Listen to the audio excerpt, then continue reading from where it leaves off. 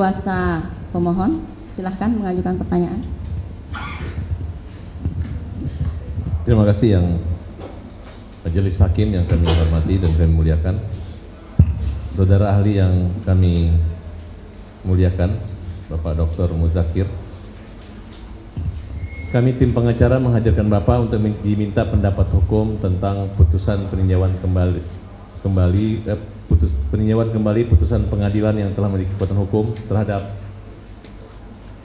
anak Saka Tatal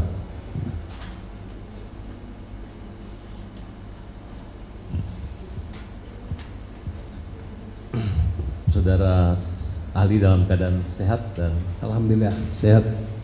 terima kasih. Kami di awal ini minta tentang pokok-pokok pendapat hukum dalam perkara peninjauan kembali. Di antaranya kami membagi dari empat bagian yaitu satu tentang alasan pemohon mengajukan peninjauan kembali. Bagian kedua tentang tindak pidana pembunuhan dalam pasal 340, 338, pasal 80 ayat 2 Undang-Undang RI 35 2014 tentang perubahan atas Undang-Undang RI 23 tahun 2002 tentang perlindungan anak. Bagian ketiga tentang penyertaan pasal 55 ayat 1 KUHP dan terakhir tentang permasalah hukum yang dihadapi oleh pemohon peninjauan kembali. Kita mulai dari yang pertama ya Pak, alasan mengajukan permohonan peninjauan kembali. Silakan Saudara Ali. Baik, ahli jelaskan bahwa seseorang yang telah dijatuhi pidana atau terbukti melakukan tidak pidana dijatuhi pidana yang telah memiliki kekuatan hukum yang tetap jika merasa bahwa proses-proses hukum itu ditemukan ada sesuatu yang atau sebut saja bukti-bukti yang menunjukkan bahwa eh, putusan tersebut eh, terdapat kekeliruan atau kesalahan maka seorang terpidana atau keluarganya pun mengajukan peninjauan kembali. Nah, apakah statusnya harus terpidana atau setelah terpidana itu sama saja. Yang ditinjau itu bukan masuknya pidana, masuknya orang masuk penjara, tapi yang ditinjau adalah putusan yang telah memiliki kekuatan hukum yang tetap yang itu dinilai ada semacam suatu kekeliruan atau kesalahan dalam proses pengambilan putusan itu. Kalau itu dipertimbangkan dalam proses hakim dalam proses pengadilan itu konsekuensinya akan menimbulkan satu uh, menguntungkan bagi pihak pemohon PK yang kedua adalah bisa juga termasuk bagian yang menguntungkan itu adalah membebaskan dari uh, pemohon PK itu dari semua dakwaan yang ada di dalam yang selama ini telah memiliki kekuatan hukum yang tetap ya. sebaliknya kalau itu adalah dibuktikan bahwa ternyata itu adalah nanti akan memberatkan maka hakim tidak boleh menjatuhkan menjatuhkan hukuman yang memberatkan disebabkan karena permohonan PK. Tapi yang dalam filsafat PK ini adalah karena terdapat kekeliruan dan kekeliruan itu efeknya adalah kalau diluruskan itu akan menim, uh, berakibat uh, ringannya hukuman atau pembebasan seorang terdakwa maka prinsip PK adalah harus putusan yang meringankan atau termasuk kategori yang meringankan apabila itu adalah uh, terdapat kekeliruan dalam proses pengambilan keputusan itu yang menimbulkan akibat pembebasan terdakwa maka itu juga termasuk bagian daripada uh, perbuatan atau putusan yang meringankan. Nah, untuk menuntut seseorang atau meminta seseorang uh, itu uh, terpidana itu kemudian mengajukan PK, paling tidak ada tiga alasan utama dalam konteks ini. Yang pertama adalah adanya bukti baru atau novum yang apabila bukti baru itu uh, pada saat proses persidangan utama baik di pengadilan negeri, pengadilan tinggi maupun di Mahkamah Agung karena ini adalah hasilnya putusan tetapnya ada sampai Mahkamah Agung kalau dipertimbangkan pada saat itu itu putusannya menjadi berbeda daripada putusan yang ada sekarang itu menjadi novum itu menjadi alasan untuk mengajukan PK ya. Nah, novum tadi ahli sampaikan bahwa itu bisa sampai kepada yang meringankan hukuman saja atau sampai pada membebaskan. Ini tergantung pada eh, pemeriksaan pada tingkat eh, peninjauan kembali. Yang kedua apabila terjadi kontradiksi antara putusan satu dengan putusan yang lain, ya, yang kalau itu diluruskan itu putusan itu akan menguntungkan pihak pemohon PK. Dan yang terakhir adalah ada kekhilafan hakim. Dalam konteks ini, apabila kekhilafan hakim itu juga diluruskan sesuai dengan hukum acara pidana atau sesuai dengan proses pengambilan keputusan yang benar, baik dan benar, maka putusan itu juga akan berbeda dari keputusan yang ada sekarang ini yang dimohonkan PK sekarang ini. Nah atas dasar itulah maka seorang terpidana memiliki hak hukum itu untuk mengajukan permohonan PK. Jadi permohonan PK adalah hak, ya. Jadi tidak boleh siapa pun menghalang-halangi terhadap permohonan PK itu dan juga tidak boleh membangun asumsi bahwa ya kalau sudah terpidana ya sudah. Nggak usah PK-PK segala. Itu Allah menyulitkan. Maka dihukum lebih berat lagi. Itu juga tidak boleh. Ini hak mendasar dari seseorang yang terpidana dan dia mengajukan PK karena bisa membuktikan bahwa putusan hakim sebelumnya itu adalah terdapat kekeliruan atau terdapat kesalahan atau ter ada bukti novum baru yang membuat nanti kalau diperiksa secara baik dan benar itu akan diputus yang meringankan bagi terdakwa. Demikian keterangan ahli terkait dengan prinsip dalam permohonan PK yang diatur dalam pasal 263 UHAP sebentar ya sebelum dilanjutkan. Tolong pengunjung sidang ya, handphonenya bisa di silent atau kalau mau menerima telepon silahkan keluar. Ya, itu kedengaran loh sampai sini. Di luar aja.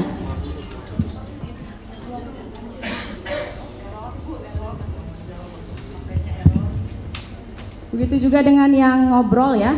Kalau ngobrol di luar aja ngobrolnya, jangan di ruang sidang ya memecah fokus dari konsentrasi dari ahli dan penasihat hukum yang sedang bertanya. Gitu ya. Silahkan dilanjutkan.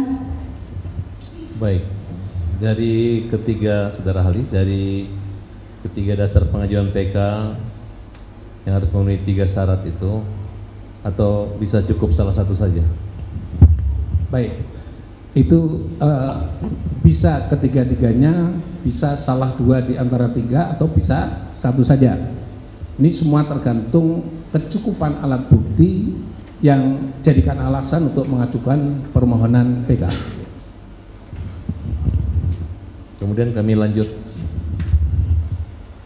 Bagaimana mengenai saksi yang belum pernah dihadirkan dalam persidangan sebelumnya dan dan dihadirkan dalam pemeriksaan sidang PK? Ya, menurut ahli demikian. Jadi karena proses Nah, karena proses-proses hukum pada saat uh, pertama itu terdapat kekurangan atau kekhilafan oleh hakim, maka kalau itu saksi yang utama atau penting dan memberi keterangan kesaksiannya itu adalah penting dan menentukan, mempengaruhi proses pembuktian dalam perkara pidana yang sedang diperiksa itu, maka proses permohonan PK itu dapat mengajukan saksi baru, ya saya ulangi lagi, saksi baru yang materi keterangannya itu bisa uh, sebut saja berbeda dengan sebelumnya dan bisa mematahkan argumen yang ada uh, dalam putusan yang telah ada. Sehingga dengan demikian saksi baru tadi bisa diajukan di majelis uh, eh, PK yang bersangkutan. Sehingga dengan demikian agar supaya dia dipertimbangkan. Karena pada saat itu mungkin orangnya tidak ditemu, mungkin juga jaksa penuntut umum tidak bisa menghadirkan pada saat itu, tetapi materi keterangannya sesungguhnya signifikan dalam konteks pembuktian proses baru itu eh, dalam proses PK itu, maka dia bisa diajukan dalam proses pemeriksaan PK. Baik, saudara saksi, ahli, eh saudara ahli, maaf Saudara ahli, bagaimana jika saksi di persidangan telah memberikan keterangan, kemudian merubah keterangan yang sudah disampaikan dengan membuat surat pernyataan atau diperiksa dalam sidang pemeriksaan perkara PK? Baik, ahli jelaskan prinsipnya seorang saksi telah memberi keterangan yang biasanya adalah disumpah terkait dengan keterangan kesaksiannya itu adalah Eh, menjadi bagian daripada atau dipertimbangkan dalam putusan pengadilan. Tapi kalau jika kemudian diketahui bahwa pada saat dia memberikan pada saat itu ada sebut saja itu tekanan fisik maupun non fisik yang membuat dia tidak bisa berbuat sesuatu kecuali dia terpengaruhi atau dipengaruhi oleh uh, kekuatan di luar dirinya yang melakukan pemaksaan secara fisik maupun non fisik itu maka keterangan yang diberikan itu adalah keterangan yang tidak sesuai dengan keterangan kesaksian. Yang seharusnya dia harus memberi keterangan kesaksian berdasarkan apa yang dialami sendiri apa yang dilihat sendiri atau apa yang didengar sendiri tapi karena pengaruh-pengaruh dari luar dirinya karena ada unsur paksaan fisik dan non fisik tadi yang membuat dia memberi keterangan yang tidak sempurna atau mungkin justru memberi keterangan yang sesungguhnya tidak atau bertentangan dengan keadaan yang benar dan keadaan yang sebenarnya jika kesadaran itu muncul di kemudian hari setelah adanya putusan dan dia menjadi berani untuk mencabut keterangannya, maka itu boleh dilakukan. Tadi Ali sampaikan dengan catatan dia akan memberikan keterangan-keterangan yang benar dan sesuai dengan yang sebenarnya berdasarkan apa yang dia alami, apa yang dia lihat dan apa yang dia dengar. Dan itu diberikan juga tanpa ada paksaan dari pihak mana pun. Menurut Ali adalah itu boleh menarik atau istilah bahasanya adalah Eh, membatalkan keterangan kesaksiannya dan dia akan memberi keterangan di uh, sidang pengadilan. Dengan catatan pula karena keterangan itu sudah dimasukkan di dalam uh, pertimbangan putusan pengadilan, maka membatalkannya juga harus dengan putusan pengadilan. Jadi kalau membatalkan dengan putusan pengadilan yang paling memungkinkan dalam situasi hukum pidana itu adalah uh, proses pengajuan PK. Sehingga dengan demikian dia boleh memberikan keterangan ah, keterangan saksi kembali dalam uh, persidangan PK dengan di dalam persidangan itu dia harus berani secara tegas untuk mencabut keterangan yang pernah dilakukan sebelumnya dan dia bisa membuktikan bahwa keterangan yang diberikan sebelumnya itu ada unsur paksaan fisik maupun psikis. Dan dengan cara itu maka disumpah kembali dan dia akan memberikan keterangan lagi dan keterangan itu diberikan secara tanpa tekanan apa pun dan itu dapat menjadi pertimbangan oleh majelis hakim PK untuk dimasukkan dalam putusannya. Sehingga dengan demikian itu itu yang atau keterangan yang tidak benar tadi karena melahirkan proses peradilan yang sesat dan menyesatkan maka bisa dibatalkan agar supaya majelis hakim PK dan kemudian permohonan PK ke Mahkamah Agung itu nanti bisa mempertimbangkan putusan dengan putusan yang lebih mendekati atau sesuai dengan kebenaran material dan menghindari proses peradilan yang sesat dan menyesatkan. Demikian keterangan ahli. Baik, saudara ahli, kalau kami kaitkan dengan PK kita saat ini, apakah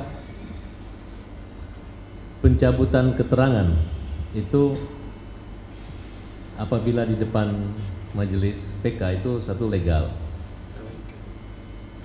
atau ilegal. Yang kedua, apakah jika keterangan bohong yang dilakukan itu adalah merupakan arahan dari penyidik atau oknum polisi Rudiana disertakan alasan pencabutan itu merupakan satu alasan yang dimungkinkan dan merupakan berdasar sehingga tidak membuka peluang daripada orang yang mengajak berbohong itu untuk melaporkan balik daripada saksi yang jujur yang awalnya diarahkan untuk berbohong. Baik, ahli jelaskan prinsipnya begini. Siapa pun yang memberi keterangan ahli di ruang sidang pengadilan yang dia keterangannya adalah sudah disumpah, maka keterangan diberikan harus benar. Ya. Tapi tadi ahli sudah sampaikan, kalau keterangan yang lama, ya, proses pemberian keterangan itu ternyata adalah akibat adanya tindakan paksa secara fisik maupun non fisik yang membuat dia tidak bisa menerangkan keterangan yang apa yang benar dan yang sebenarnya maka dia punya hak hukum untuk mencabut keterangannya itu. Jadi keterangannya lama yang sudah dicabut selagi keterangan pencabutan di dalam sidang pengadilan itu tidak bisa dikualifikasi sebagai keterangan yang kemarin adalah keterangan yang e, memberikan keterangan yang bohong atau istilah bahasanya adalah memberi keterangan di bawah sumpah yang itu adalah palsu. Tapi karena itu atas kesadaran diri yang sendiri bahwa memang keterangan kemarin itu adalah diberikan karena ada paksaan fisik maupun non fisik kepada dirinya dan kemudian tumbuh kesadaran dirinya kemudian dia ada proses PK dan kemudian me, apa istilah bahasanya mengikuti proses itu dan kemudian dia memberi keterangan kembali dan keterangan itu intinya adalah mencabut dari apa keterangan yang diberikan sebelumnya. Dan itu dipastikan keterangan itu benar yang nanti dalam sidang akan dicocokkan dengan keterangan-keterangan yang lain bahwa keterangan yang diberikan itu adalah benar. Maka kalau itu dipakai lagi untuk uh, dalam pertimbangan putusan pengadilan putusan majelis uh, hakim maka keterangan itulah keterangan yang benar. Maka yang bersangkutan tidak bisa dikatakan dikualifikasi sebagai melakukan tidak pidana namanya adalah keterangan palsu di bawah sumpah Justru keterangan yang kemarin itu diluruskan supaya menemukan yang benar adalah benar, yang salah adalah salah, dan supaya juga menemukan kebenaran material. Ternyata dengan mencabut itu adalah bisa jalan pintu majelis hakim untuk menemukan kebenaran material, maka justru persoalan yang telah diberikan sebelumnya yang memberi keterangan eh, di bawah sumpah atau di atas sumpah yang tidak benar itu mestinya diberi penghargaan. Karena situasi dan kondisi pada saat itu mau dan tidak mau karena ada paksaan fisik dan psikis dia memberi keterangan yang tidak benar. Sehingga dengan demikian uh, saksi yang uh, mencabut dan memberi keterangan yang benar dan sebenarnya telah membantu majelis untuk menemukan kebenaran material dalam satu kasus tersebut. Sehingga menurut Ali harus diberi penghargaan terhadap orang yang berani melawan tindakan yang tidak benar tersebut. Demikian. Ya catatan saksi-saksi ahli, eh saksi-saksi fakta yang pernah berbohong pada persidangan lalu, dua di antaranya sudah memberi keterangan di pengadilan ini dan menyatakan mencabut keterangan yang lalu. Pertanyaan selanjutnya.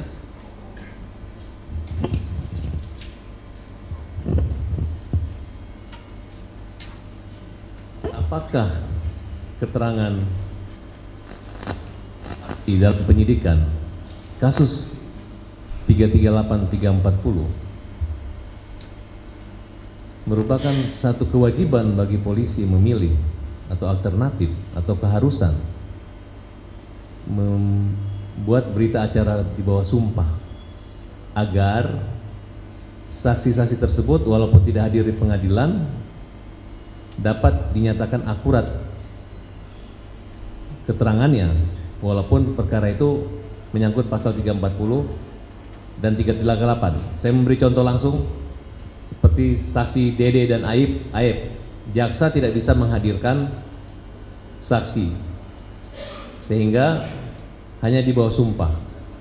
Kejadiannya 8 tahun setelah mereka menjalani hukuman, salah satu saksi yang bernama Dede mencabut keterangannya dengan alasan itu adalah merupakan rekayasa dan arahan Ruhidiana. Saya persingkat pertanyaan saya, apakah penting dan utama dalam kasus pembunuhan saksi di bawah sumpah lebih diutamakan oleh penyidik maupun jaksa dan hakim? Sebentar ya sebelum dijawab. Tadi yang mencabut siapa aja yang disebut? Dede, Liga Akbar, dan Teguh. Ya, Dede kan belum hadir di persidangan. Baru Liga Akbar dan Teguh ya. ya. Jadi ya. Dede jangan dihitung dulu ya. Baik. Yang sudah memberikan keterangan dan sudah disumpah adalah Liga Akbar dan Teguh, itu ya.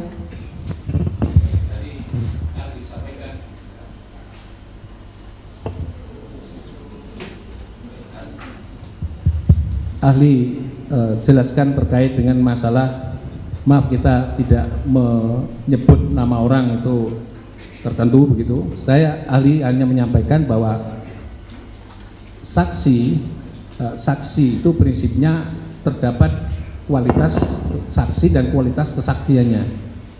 Saksi yang paling sempurna itu adalah saksi yang mengalami, melihat dan mendengar. Jadi kalau saksi yang memiliki uh, kapasitas yang sempurna kesaksiannya dan dan kedudukan saksi keterangan kesaksian tersebut adalah saksi yang pokok dalam satu perkara pidana kehadirannya itu wajib dilakukan Dan yang kedua, kalau dia tidak mau hadir, itu bisa dipidanakan karena dia menolak sebagai saksi. Dengan maksud apa? Maksud pengadilan untuk menemukan kebenaran material dalam perkara pidana itu bisa terpenuhi. Kalau dia tidak hadir, keterangan apakah bisa dibacakan keterangan kesaksiannya di dalam berita acara? Ali berpendapat keterangan sesuai dengan kuhab mengatur keterangan saksi adalah keterangan yang disampaikan dalam sidang pengadilan. Bagaimana kalau keterangan saksi itu disampaikan sidang pengadilan berbeda dengan yang dimuat di dalam kalau keterangan saksi dimuat di dalam sidang dimuat dalam BAP itu ternyata tidak sama dengan yang diberikan di pengadilan menurut hukum acara pidana kuhab itu yang dipakai adalah yang ada diberikan dalam sidang pengadilan. Dengan asumsi bahwa kalau dia menyampaikan materi keterangan kesaksian di sidang pengadilan bisa di cross check dan bisa diuji silang oleh uh, terdakwa dan penasihat hukumnya oleh jaksa dan oleh majelis hakim. Oleh sebab itu keterangan saksi yang ada dalam sidang pengadilan itu adalah sesuatu hal yang penting.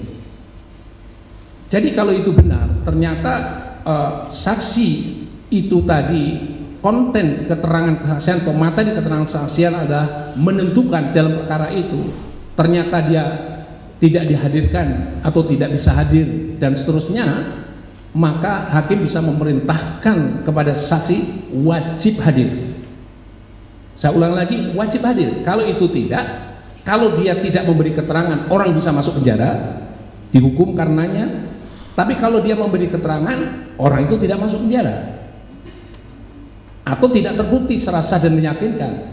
Jadi keterangan saksi yang penting itu bisa menimbulkan akibat proses peradilan yang sesat dan menyesatkan dan juga bisa menimbulkan akibat seseorang masuk penjara karenanya.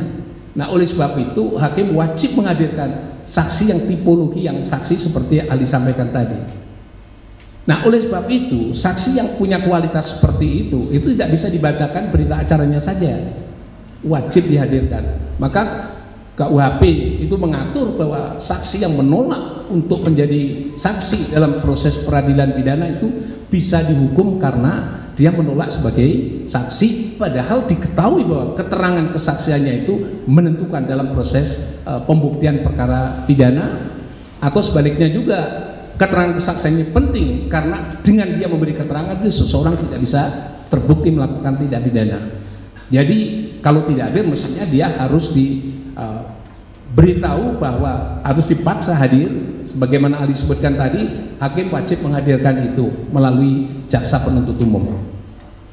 Nah terkait dengan itu kalau misalnya saja orang mencabut kesaksiannya ya saksi mencabut kesaksiannya tadi Ali sudah uh, sampaikan yang prinsip dasarnya boleh. Karena apa? Orang mencabut kesaksiannya memang kesaksian yang pernah diberikan itu ada mengalami kekurangan atau kekeliruan atau mungkin ada intimidasi dari pihak-pihak lain yang membuat dia tekanan fisik dan non fisik ya keterangan itu menjadi tidak benar maka dia akan meluruskan lagi. Oleh karena itu dia bisa punya hak untuk mencabutnya. Tadi Ali sudah sampaikan mencabutnya mestinya melalui proses peradilan ya. Entah itu nanti prosesnya. Biasanya kalau Ali diminta karena belum belum ada proses pengadilannya bikin dong statement nanti disahkan di notaris bahwa anda dulu telah memberi keterangan palsu atau tidak benar pada putusan pengadilan halaman sekian sampai sekian. Dan seterusnya dikutip dan kemudian melalui kekuatan uh, pengesahan notaris tadi itu jadikan alat bukti untuk dalam proses sidang kalau ada proses uh, peninjauan kembali. Ahli sampaikan seperti itu. Bagaimana kalau ahli itu, eh, maaf, kalau saksi itu bertahan tidak mau mencabut keterangannya, padahal diketahui bahwa keterangannya itu adalah tidak benar atau mengandung unsur ketidakbenaran. Dan itu mungkin tidak ada paksaan atau tidak ada pasan fisik maupun non fisik ya keterangan kesaksian yang seperti itu itu masuk di dalamnya yang disebut sebagai uh, orang yang memberi keterangan palsu di bawah sumpah tapi kalau dia mencabut berarti dia melakukan revisi atau sebut saja itu memberikan keterangan yang benar dan sesuai dengan yang sebenarnya maka dia mencabut yang lama mengganti dengan keterangan yang benar dan yang sebenarnya demikian keterangan ahli terima kasih saudara ahli. Bagaimana jika ternyata keterangan tersebut adalah merupakan hasil dari satu arahan atau hasil dari suatu perintah, intimidasi, kekerasan, penganiayaan. Baik, Ali jelaskan bahwa prinsipnya kalau bisa dibuktikan memang benar itu dari perintah, tapi yang bersangkutan itu tetap ngotot, ya itu adalah sesuatu yang benar. Ya nanti kalau ada proses pembuktian yang berikutnya ternyata keterangan-keterangan itu semuanya adalah tidak benar karena dia tidak mau mencabut, maka dia resikonya akan dituduhkan dia telah melakukan keterangan palsu di bawah sumpah. Tapi kalau dia menarik keterangan itu, justru orang itulah yang akan dibebaskan dari tuntutan memberikan keterangan palsu di bawah sumpah karena pada saat dia memberi keterangan kalau itu benar disebabkan karena adanya intimidasi atau jenis yang lain yang itu merupakan kekerasan atau ancaman kekerasan fisik maupun non fisik maka orang itu yang tadi Ali sampaikan diberi penghargaan karena apa? karena telah menarik mencabut keterangannya dan kemudian memberi keterangan yang benar dan yang sebenarnya maka itu akan membantu hakim dalam memutus perkara yang benar dan yang sebenarnya berdasarkan penemuan kebenaran material di dalam proses perkara itu. Demikian. Menurut saudara ahli, kalau keterangan saksi atau terdakwa itu yang di depan di penyidikan atau di depan persidangan? Ya semua keterangan termasuk juga keterangan ahli adalah keterangan yang disampaikan dalam sidang pengadilan. Saksi juga hal yang sama, terdakwa juga hal yang sama. Demikian. Bagaimana jika para terdakwa mencabut berita acara pemeriksaan di kepolisian, kemudian ketika didengarkan kesaksian di depan persidangan, tapi majelis tetap menggunakan berita acara pemeriksaan di kepolisian sebagai copy paste untuk sebagai bahan pertimbangan dan putusan. Itu termasuk yang disebut sebagai kekhilafan hakim dalam proses itu. Ya. Jadi kalau memang benar seperti itu ya jadi kalau keterangannya sudah dicabut masih juga dipertimbangkan dalam proses itu berarti itu termasuk ke, kalau sudah putusan itu memiliki kekuatan hukum yang tetap itu termasuk bagian daripada bukti kekhilafan hakim dalam proses itu sehingga kekhilafan hakim yang mempertimbangkan keterangan yang sudah dicabut atau keterangan ahli BAP yang sudah dicabut masih juga dimasukkan menjadikan pertimbangan. Ternyata pertimbangan itu menguntungkan atau sebut saja membuat putusan itu tidak yang benar dan tidak yang sebenarnya maka menurut ahli itu bagian daripada bukti kekhilafan hakim dalam proses pengambilan keputusan. Baik kami lanjutkan saudara ahli bagaimana jika majelis hakim tidak mempertimbangkan keterangan saksi lain sedangkan saksi tersebut ada di dalam tempat kejadian perkara dan keterangannya tidak dipertimbangkan oleh majelis hakim. Ya, kalau itu adalah prinsipnya begini. Hakim pada saat pemeriksaan sudah mengklasifikasi saksi ini kira-kira keterangannya hubungannya dengan kasusnya seperti apa. Kalau itu benar, keterangan saksi itu ternyata dia mengetahui ada di lokasi di tempat mana perbuatan itu dilakukan, maka sebenarnya sudah dari awal sudah bisa disimpulkan itu saksi itu adalah orang yang mengalami langsung sendiri atau melihat sendiri atau mendengar sendiri tentang tidak pidana sedang terjadi. Jadi kalau dia misalnya sengaja disingkirkan untuk tidak dihadirkan, berarti tadi Ali sudah sampaikan keterangan kesaksian yang berkualitas e, memiliki kekuatan pembuktian yang utama di situ tidak dihadirkan, Ya, itu tadi bagian di dalamnya adalah tidak sesuai hakim itu tidak sesuai dengan standar dalam satu proses pemeriksaan. Tadi ahli sudah sampaikan, mestinya saksi yang seperti itu wajib dihadirkan. Dan hakim majelis hakim wajib untuk e, meminta kepada jaksa dihadirkan saksi tersebut karena saksi itulah yang nanti akan memberikan keterangan yang menentukan apakah dakwaan jaksa itu terbukti atau tidak terbukti sehingga hakim akan bisa menyimpulkan satu simpulan yang benar di atas kebenaran dari bukti-bukti yang ada pada saat proses pemeriksaan pengadilan pada saat itu. Demikian keterangan ahli. Baik, kami lanjutkan dengan pertanyaan berikutnya yaitu tentang tindak pidana pembunuhan. Sama kita ketahui dalam perkara sekatata ini ada pasal 340 dan 338. Kami mohon ahli untuk menguraikan tentang unsur-unsur dari pasal 338 dan 340. Kemudian kemudian menyangkut alat-alat bukti yang memiliki kekuatan bukti primer, alat bukti yang memiliki kekuatan pembuktian sekunder dan alat bukti yang memiliki kekuatan pembuktian tersier. Baik Ali, terangkan kaitannya dengan pasal 338 dan 340. Kalau itu penegakan hukum yang berhubungan dengan pasal 338 atau 340, maka kita harus mengetahui terlebih dulu 338 itu namanya adalah delik genus dari seluruh pembunuhan yang ada dalam KUHP. Saya ulangi lagi, apa artinya delik genus?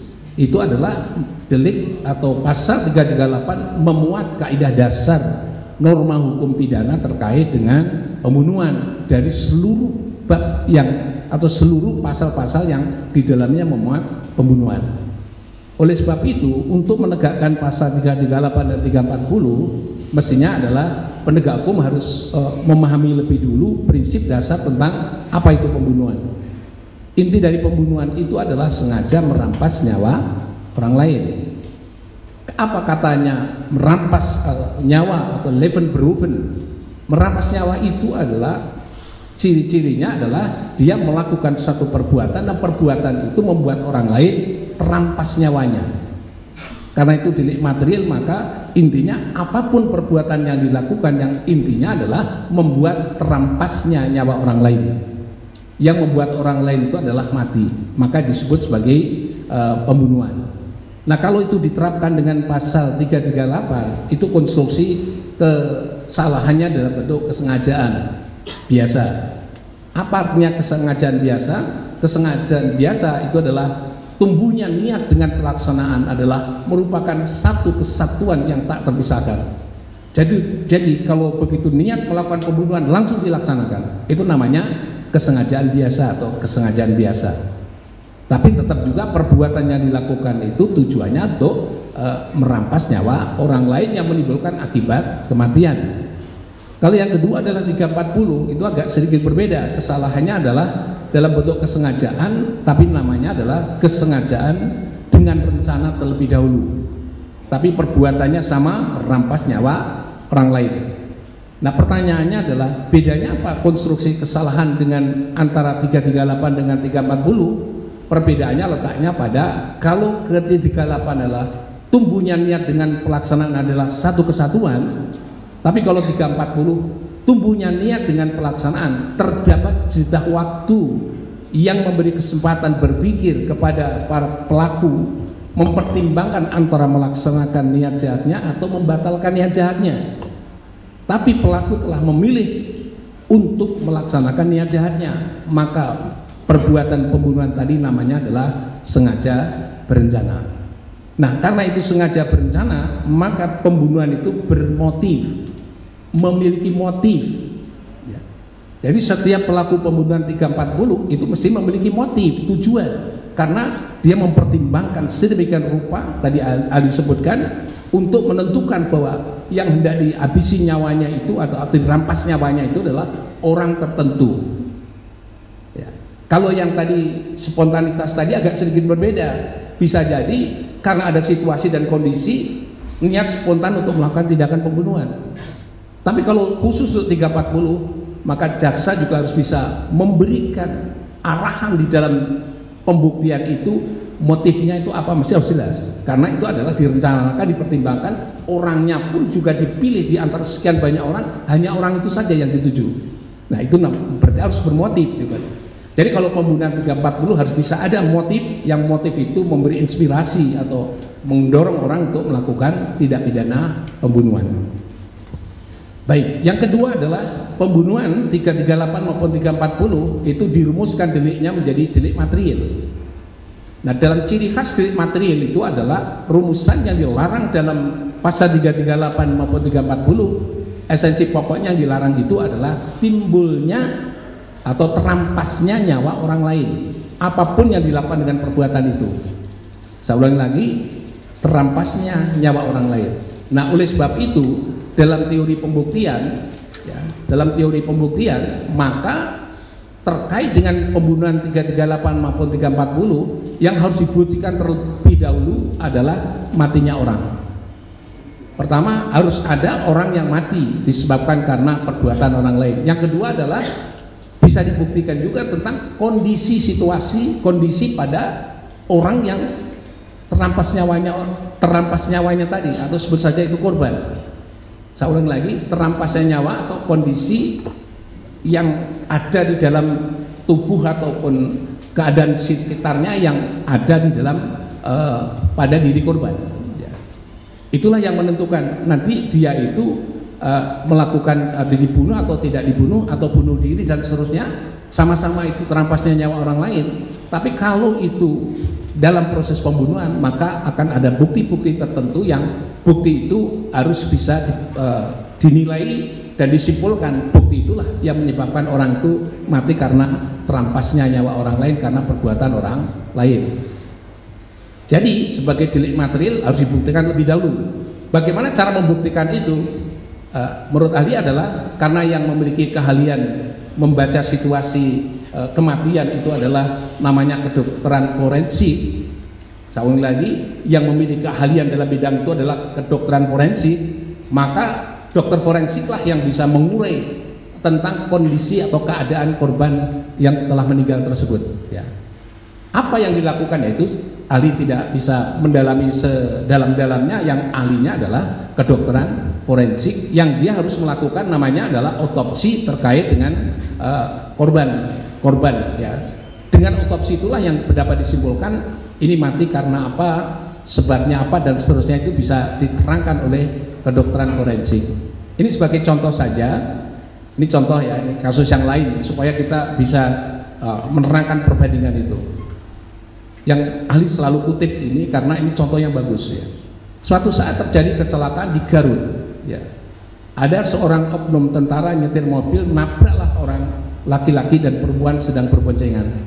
Begitu ditabrak, terjungkal dan seterusnya, terus kemudian si sopir ini, oknum tentara ini merawatnya dan seterusnya menaikkan ke mobil oleh orang masyarakat sekitar dikiranya dia mau dibawa pergi ke rumah sakit untuk dirawat untuk disembuhkan begitu eh ternyata begitu masuk ke dalam uh, mobil tersebut ini dua orang korban tadi itu dibuang ke kali Cisadane dan akhirnya nyangkut uh, korban itu dan kemudian datangkanlah sudah diambil dan seterusnya datangkanlah uh, kedokteran forensik Kesimpulannya apa? Dokter forensik mengatakan perempuan yang meninggal tadi matinya matinya terampasnya nyawa itu karena apa? Karena kecelakaan. Berdasarkan otopsi. Tapi giliran yang satunya lagi laki-laki matinya karena apa? Pembunuhan berencana, pembunuhan ya, pembunuhan. Kenapa pembunuhan? Karena begitu dibuang di kali Cisadane itu organ tubuhnya di dalam itu masih ada unsur air, pasir dan sebagainya Artinya apa? Menurut teorinya di situ dibunuh, uh, dibuang itu pada kondisi hidup. Karena kondisi hidup, maka kemudian dia mati, berarti matinya itu adalah karena air yang masuk di dalam perutnya. Dan disimpulkan bahwa ini adalah pembunuhan. Karena dibuang ke kali itu secara sengaja, maka lahirlah oleh penyidik dikualifikasi sebagai pembunuhan berencana. Siapa yang menentukan? Bukan penyidik yang menentukan pertama-tama itu adalah ahli forensik atau kedokteran forensik. Jadi kalau ini dalam kasus ini benar seperti apa yang ahli sampaikan tadi, berarti kalau toh ada orang yang mati, sebut saja dua orang yang mati ini, maka mestinya paling pertama menentukan adalah kedokteran forensik yang memeriksa kondisi keadaan tubuh, fisik, lingkungan dan sebagainya yang di backup oleh ahli-ahli yang lain itu untuk menentukan matinya itu karena apa. Jadi itu yang menentukan. Nanti penyidik itu akan mengikuti arahan daripada proses itu. Kalau misalnya itu adalah mati, oh ini mati karena kecelakaan, karena tanda-tandanya 1, 2, 3, 4, 5, 6 ya itu berarti itulah yang terjadi kondisi objektifnya seperti itu karena uh, yang punya kompeten itu bukan uh, penyidik yang kompeten itu adalah dokter uh, kedokteran forensik yang melakukan otopsi. Dari mana? Maka lahirlah visum et repertum. Visum et repertum itulah yang bisa membunyikan jenazah itu bunyinya apa? Itu adalah visum repertum, bukan penyidik ya. Saya ulang lagi bukan penyidik. jenazah itu seperti apa dan bisa menjadi pidana atau bukan pidana visum et repertum sehingga visum et repertum atau alat bukti surat ini yang menentukan tentang kondisi korban ya.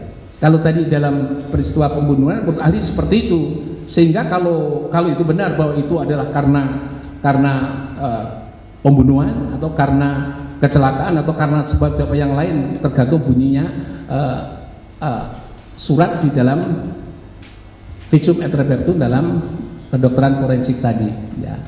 Jadi yang pertama ahli sampaikan seperti itu sehingga dengan demikian arahan untuk masuk masuk ruang mana itulah sumbernya dari kedokteran forensik. Sehingga dengan demikian ahli sampaikan pembunuhan itu uh, peristiwa pembunuhan itu adalah delik material. Harus ada orang mati. Orang mati berbunyi dia sebagai alat bukti adalah surat visum et repertum dari kedokteran forensik. Nah, kalau kedokteran forensik sudah menyimpulkan sebab-sebab kematiannya dan seterusnya, maka kedokteran forensik akan memberi informasi lanjutan mengenai hal-hal yang lain yang terkait dengan kematian seseorang.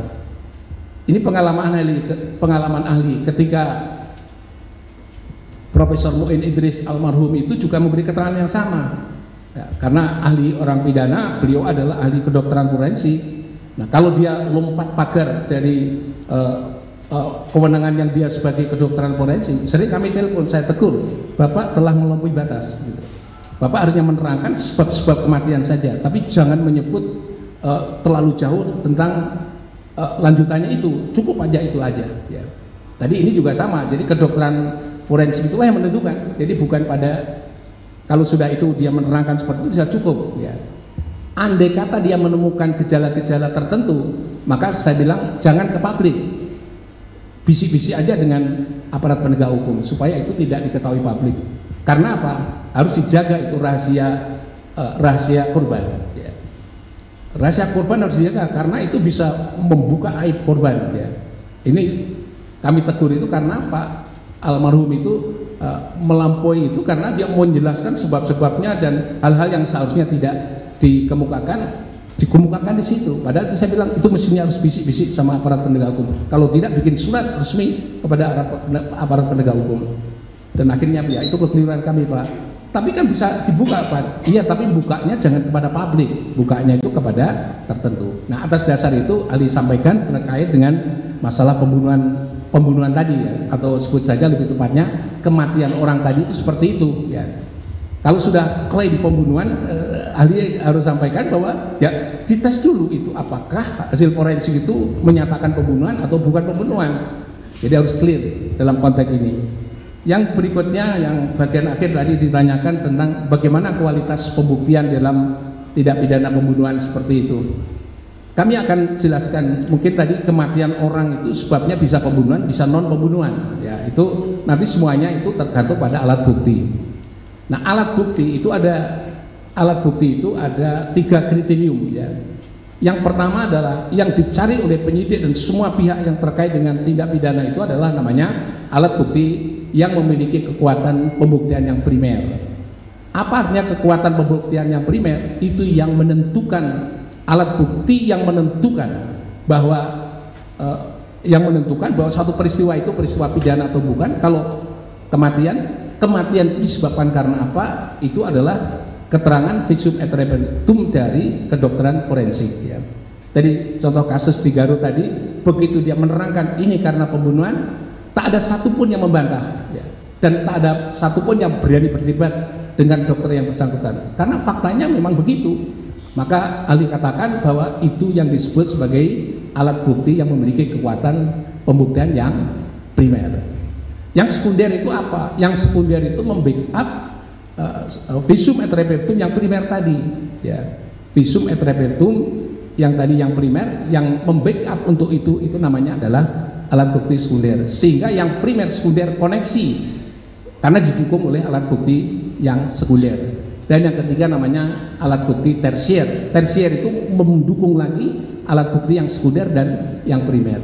Sehingga atas dasar itu dalam teori pembuktian maka uh, penyidik harus bisa membuktikan kalau hanya yang lain-lain itu mati karena apa menurut A dibunuh menurut B adalah dipukuli menurut ini itu belum bisa membuktikan yang bisa membuktikan adalah visum et repertum. Sehingga dengan demikian yang ngomong itu karena apa? Itu namanya sekunder atau tersier. Jadi kalau hanya tersier saja itu nggak bisa sebagai alat bukti.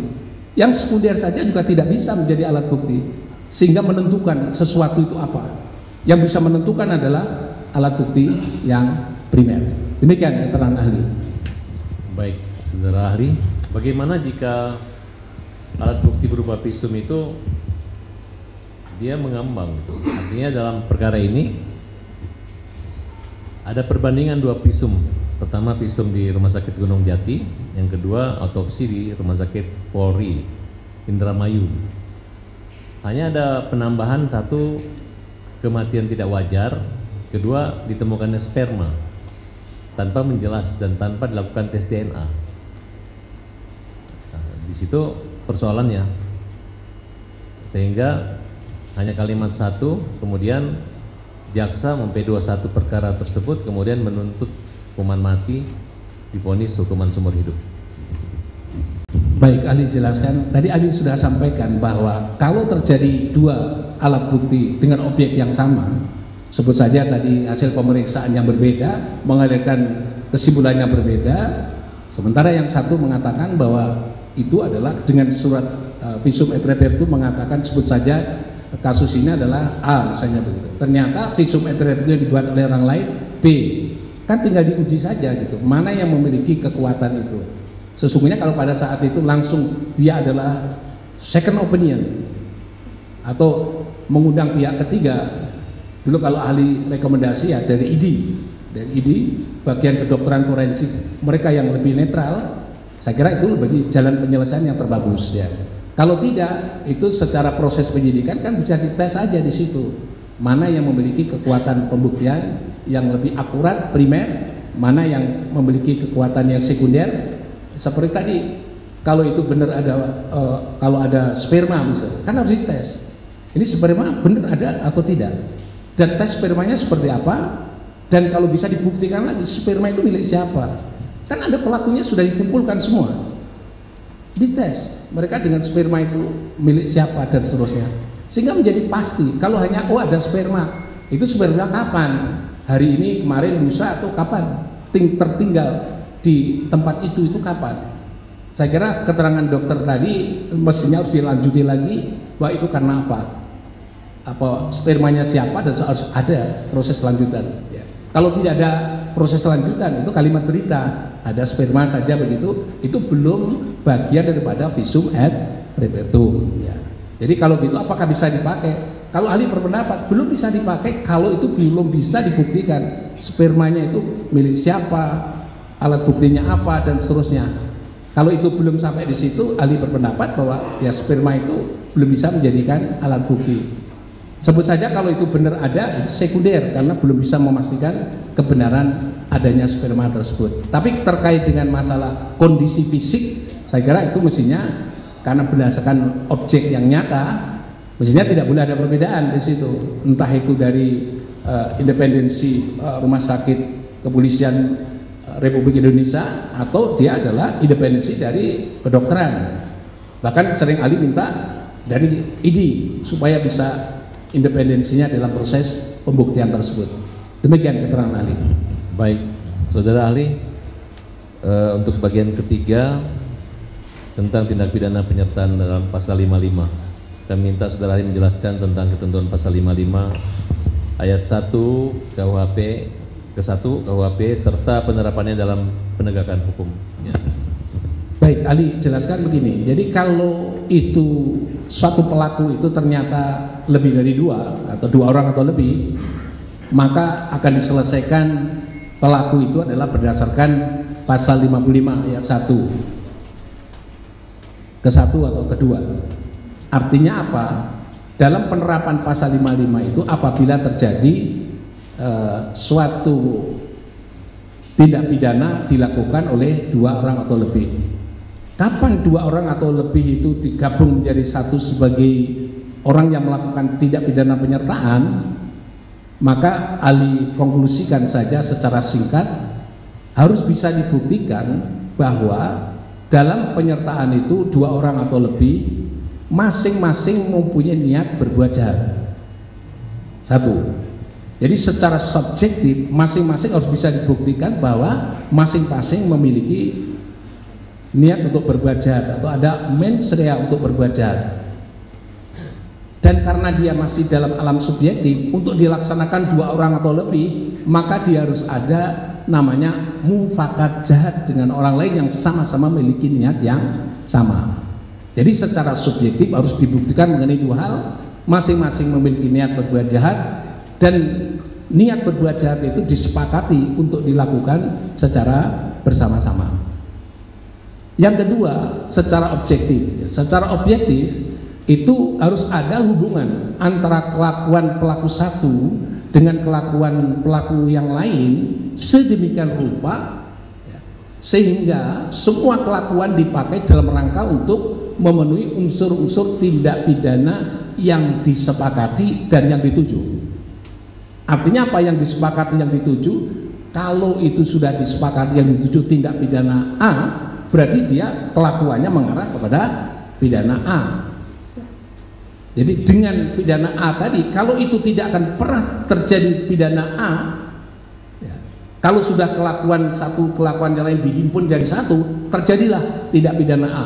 Kalau diambil kelakuan satu dengan yang lain, maka tidak akan pernah terjadi kelakuan A. Berarti dia ada namanya hubungan sedemikian rupa antara kelakuan satu kelakuan yang lain untuk menimbulkan tidak pidana.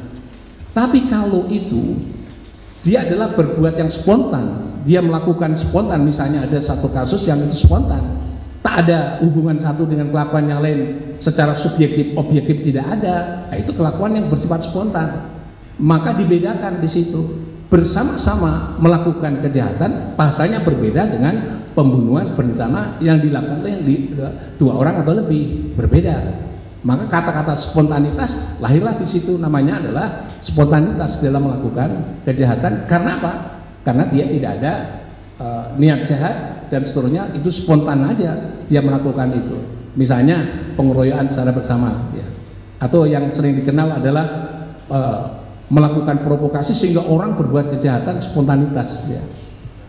menurut ahli demikian sehingga spontanitas itu tidak bisa dijalin menjadi uh, pasal penyertaan ya. dia memang harus spontanitas ya. demikian keterangan ahli yang terkait dengan masalah hubungan uh, kelakuan satu dengan kelakuan yang lain. Uh, tambahan sedikit, saudara ahli menyangkut pembuktian perkara pembunuhan dan kecelakaan lalu lintas yang berakibat matinya itu tolong jelas perbedaannya. Baik, Ali sampaikan tadi sesungguhnya pembuktian matinya orang sama. Tadi Ali sudah sampaikan pembuktian matinya orang itu sama. Sama maksudnya adalah dokter forensik akan membuat uh, uh, melakukan istilahnya bedah mayat dalam rangka untuk bisa memastikan eh, sebab-sebab kematian itu karena apa. Jadi yang menentukan sesungguhnya kecelakaan atau pembunuhan itu dari pertama itu adalah kedokteran forensik. Karena apa? Karena kalau bekas-bekas akibat tindakan yang sengaja kepada pelaku atau korban itu kalau itu pakai uh, metode yang dipakai untuk menentukan dia adalah pembunuhan maka akibat-akibatnya juga itu mesti bekas-bekas tindakan pembunuhan proses-proses pembunuhan. Kalau itu ternyata adalah bekas-bekasnya itu bukan. Ada tindakan manusia secara sengaja seperti itu dan seterusnya dan ini menimbulkan akibat mati maka bisa dilihat dalam satu konteks itu bahwa oh itu adalah tindakan yang bukan karena pembunuhan mungkin juga karena kecelakaan lalu lintas dan seterusnya. Tadi ahli contoh tadi menurut ahli selalu saya kutip untuk memastikan pentingnya namanya kedokteran forensik dalam hubungannya dengan masalah kematian itu ada di situ jadi itu kalau dokter sudah mengatakan itu pembunuhan berencana atau pembunuhan. Karena apa? Tenggelam menghirup air mati. Berbeda dengan mati dibuang di air. Itu kalau orang awam oh dia mati mengambang. Karena apa? karena dibuang ke kali. Belum tentu karena yang ngerti itu adalah kedokteran forensik. Ya tadi juga sama itu. Ini kecelakaan atau pembunuhan kedokteran forensik yang menentukan. Ya. jadi sebabnya apa dan seterusnya? Karena dalam ilmu kedokteran forensik saya berguru sama almarhum Pak Muin Idris itu beda semuanya berbeda Jadi dia lihat posisi darah juga berbeda, lihat posisi ini semuanya berbeda. Dan dapat disimpulkan oleh ahlinya itu, oh kalau ini adalah pembunuhan, oh ini bukan pembunuhan, oh ini karena kecelakaan dan seterusnya. Jadi menurut ahli demikian, sehingga dengan demikian penyidik akan mengarahkan dari arahan ahlinya itu untuk melacak kalau itu kecelakaan bagaimana kecelakaannya, kalau pembunuhan siapa pelakunya dan seterusnya itu adalah penyidik. Ya. Demikian keterangan ahli. Pertanyaan terakhir dari saya, sepengetahuan saudara ahli berkaitan dengan sakatatal, apa kelemahan-kelemahan dari penyidikan, penuntutan dan putusan tersebut sehingga kita ketahui bahwa Kapolri sudah mengakui melalui Wakapolri bahwa proses awal yang salah tidak dilakukannya scientific crime investigation sehingga menjadi kegaduhan di masyarakat gitu. ada kecurigaan dan lain sebagainya. Kemudian tidak telitinya jaksa penuntut umum membuat P21 hingga sampai hari ini pun masih tetap yakin bahwa melempar kepada hakim. Hakim sudah memponis gitu. Ya, jalan satu-satu kami adalah melakukan upaya penyewaan kembali ini. Kira-kira apa saran dan pendapat sehingga menjadi masukan buat jaksa dan pengadilan? Terima kasih. Baik, Ali sampaikan bahwa tindakan Sakatata ini adalah benar ya. Untuk daripada mengalami satu uh, ketidakpastian itu dia ingin memastikan bahwa dalam perkara dugaan terjadinya pembunuhan berencana yang sudah diponis itu itu benar atau tidak benar diuji kembali melalui lembaga PK. Ya, saya kira itu PK menurut ahli adalah benar. Nah sekarang tindakan PK itu prinsipnya adalah seperti tadi Ali sampaikan tiga hal tadi itu bisa dilakukan secara bersama-sama mungkin juga tadi kalau di, dibilangnya hakim mempertimbangkan tidak cukup dan sebagainya itu telah terbukti adanya yang disebut sebagai kekhilafan hakim kalau ternyata putusan A, putusan B, putusan C yang semuanya dirangkum menjadi tidak pidana penyertaan kalau itu terjadi clash pertentangan satu dengan yang lain dalam proses pembuktian itu berarti terjadi namanya adalah pertentangan antara putusan satu dengan putusan yang lain. Itu bagian daripada uh, pengujian dalam proses uh, permohonan PK ini kan penyertaan ini. Dan pernyataan penyertaan itu sebagai splitting berarti kalau splitting A, B, C, D di splitting yang lain tidak di splitting splittingnya di putusannya bertentangan atau berbeda dalam proses pembuktian dalam proses yang lain. Kalau menurut ahli itu adalah bagian bisa diuji melalui proses PK dan yang terakhir adalah kalau itu benar terjadi adanya novum kalau nggak salah dalam satu permohonan itu ada 10 novum yang bisa uh, dijadikan pertimbangan untuk mengajukan PK nah, tinggal menunjukkan saja dalam sidang uh, eh, PK ini bahwa 10 novum itu apakah bisa merontokkan argumen hakim yang telah dijatuhkan sebelumnya? Kalau dia menjatuhkan misalnya saja itu adalah pasal 340 ya. Bisa nggak dibuktikan bahwa anak-anak tadi sebagian pelakunya itu, itu dilakukan secara berencana memenuhi unsur subjektif dan objektif atau tidak itu syarat ya karena di dalam hukum itu harus bisa dibuktikan kalau itu tidak bisa dibuktikan, tiba-tiba pokoknya itu bersama-sama saja, hubungannya nggak dibuktikan, kelakuannya juga nggak dibuktikan, menurut ahli itu belum cukup bukti. Ya. Karena ada putusan Mahkamah Agung yang mengatakan bahwa dakwaan pasal 55 itu harus dibuktikan satu persatu bahwa seseorang terdakwa itu melakukan sebagai apa material dader menyuruh lakukan turut serta melakukan atau dia penganjuran. Kalau itu tidak dibuktikan, tiba-tiba ditulis bersama-sama melakukan pembunuhan. Bersama-samanya seperti apa? Ini yang pasal yang mana ini bersama-sama? Itu namanya adalah dakwaan yang kabur. Kalau hakimnya juga menyatakan bahwa itu bersama-sama mengamini jaksa bersama-sama, tapi tidak dibuktikan hakim. Si A ini apa perannya, ini apa perannya di dalam pasal 55 itu, itu juga putusan yang menyimpulkan dengan cara yang kabur juga ya. sehingga tidak statusnya menjadi tidak jelas ya. jadi oleh sebab itu itu adalah bagian di dalamnya kekhilafan hakim tidak mempertimbangkan satu persatu ini pelakunya sebagai pelaku apa.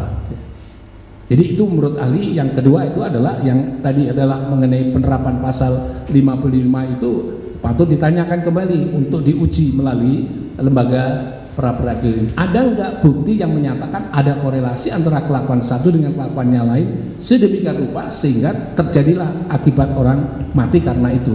Gitu.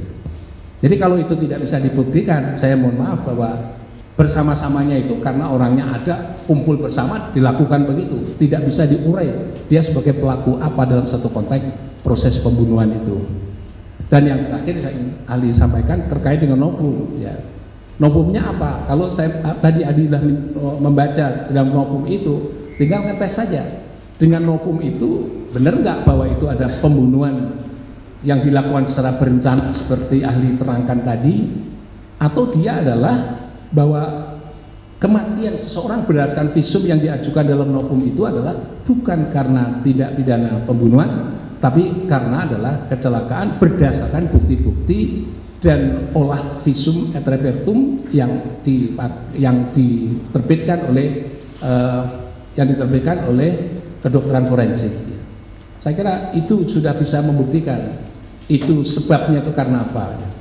Kalau kita membaca terus kemudian ada foto yang di dalamnya nah foto itu bukti bukti sekunder primernya adalah dokter yang memeriksanya itu berarti sudah ada bukti yang memeriksakan itu adalah namanya adalah alat bukti primernya foto dan lain sebagainya keterangan dan sebagainya saksi dan sebagainya itu sekunderinya jadi kalau yang seperti itu menurut Ali satu persatu bisa diurai di dalam 10 alat bukti yang diajukan permohonan tersebut dan itu bisa disimpulkan nanti akhir daripada proses pemeriksaan itu bisa disimpulkan. Keterangan ahli demikian.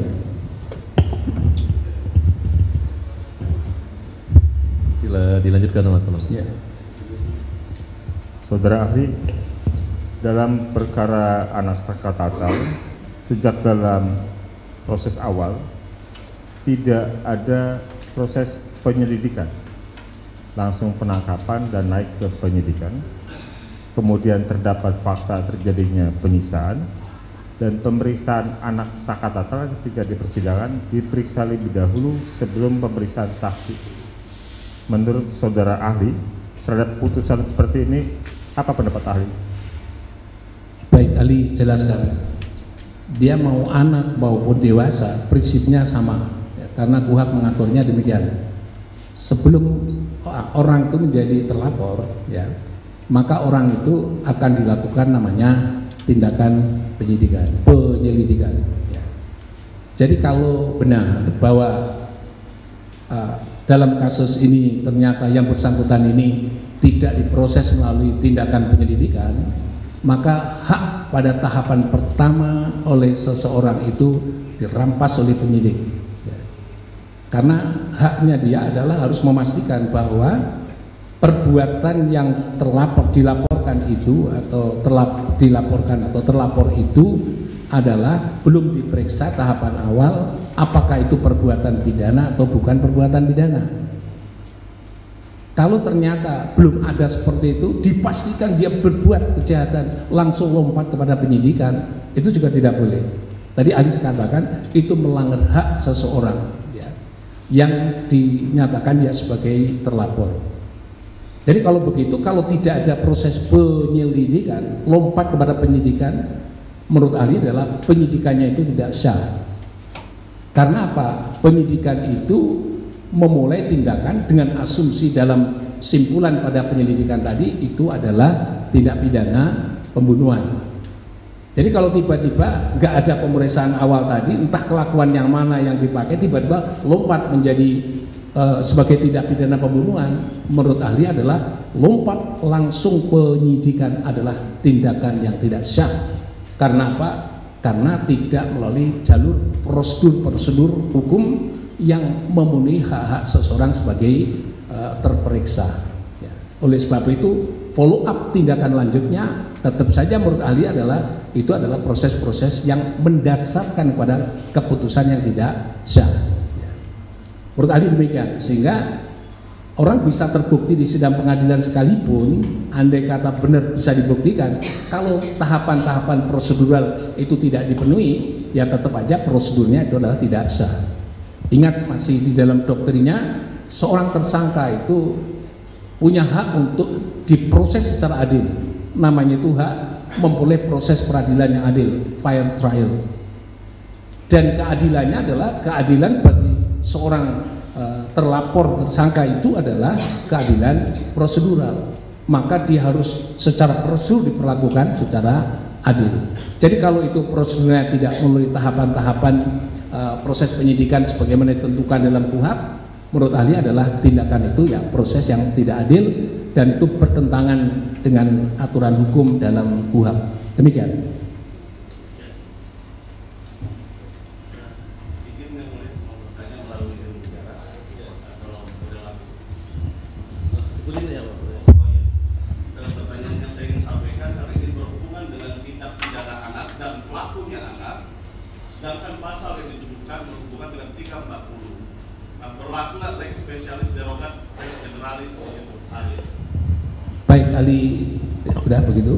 Sama. Jadi itu menarik pertanyaannya karena apa? Karena prinsipnya tidak pidana dilakukan oleh anak itu tunduk pada hukum peradilan anak. Sehingga dengan demikian kalau di dalam eh, undang-undang anak sudah diatur tadi Ali sudah dikutipkan tadi pasal 80 ayat 2 itu sudah dikatakan itu adalah masuk dengan kualifikasi itu seharusnya adalah anak diproses secara an, uh, anak dalam kapasitasnya sebagai anak dan melalui pasal-pasal yang mengatur tentang anak. Tidak bisa digeser menjadi pasal KUHP karena tadi sudah benar itu adalah harus diutamakan itu pelakunya anak. Ya. Jadi ada kegelapan hakim di situ. Ya. Baik, dari awal sesungguhnya itu sudah prosedur yang atau unprocedural ya. Tidak sesuai dengan prosedur. Kalau anak ya anak. Tapi kalau undang-undang anak diperlakukan hanya untuk anak tidak untuk orang dewasa. Tapi sebaliknya juga sama juga kalau ada orang dewasa juga tidak bisa masuk pada peradilan anak ya. oleh sebab itu kalau benar itu adalah proses bahwa itu pelakunya masih anak-anak dan semua pelaku adalah anak-anak berarti anak-anak itu harus dilakukan dengan hukum anak melalui peradilan anak ya. saya ingin terangkan lagi dalam konteks ini meskipun dia proses dan prosesnya melalui peradilan anak tetap juga hukum acaranya itu tetap menghormati namanya hukum acara itu sama pembuktiannya sama dan seterusnya itu sama. Kalau tadi Ali contohkan masalah pembunuhan pembuktiannya sama. Kalau ada kematian membuktikannya sama. Ini pembunuhan atau bukan? Semuanya sama eh, cuma dia diproses melalui proses peradilan anak. Jadi kalau di proses peradilan anak itu bukan berarti digampangkan misalnya begitu. Tidak bisa. Tetap harus dibuktikan standar pembuktian tentang pembuktian. Kalau itu pembunuhan ya standar pembuktian pembunuhan. Kalau tidak terbukti pembunuhan karena matinya orang bukan karena perbuatan e, terdakwa ya harus dinyatakan bahwa itu terdakwa tidak bisa dibuktikan telah melakukan perbuatan pembunuhan terhadap korban dan seterusnya. Jadi prinsipnya secara hukum adalah sama. Nah, apakah itu menjadi bagian daripada kekhilafan hakim? Kalau menurut Ali dari awal sudah salah dalam proses penyidikan sudah salah karena itu melibatkan anak. Ya. Tapi jangan karena gregetnya luar biasa kemudian disimpangi semua juga tidak boleh. Tetap aja anak ya anak. Ya proses anak dan anak mestinya dalam proses penyidikan itu harus sudah dimulai tapi kalau kemudian ternyata pada bagian akhir itu ternyata adalah uh, anak tadi diproses ya prosesnya seperti hukum dewasa terkait dengan pasal 340 ya Ali berpendapat proses anak dengan proses itu namanya proses prosedur 3 340 nya itu menurut Ali adalah tidak tepat dan itu bagian daripada kekhilafan hakim dan kekeliruan dalam proses penuntutan. Demikian.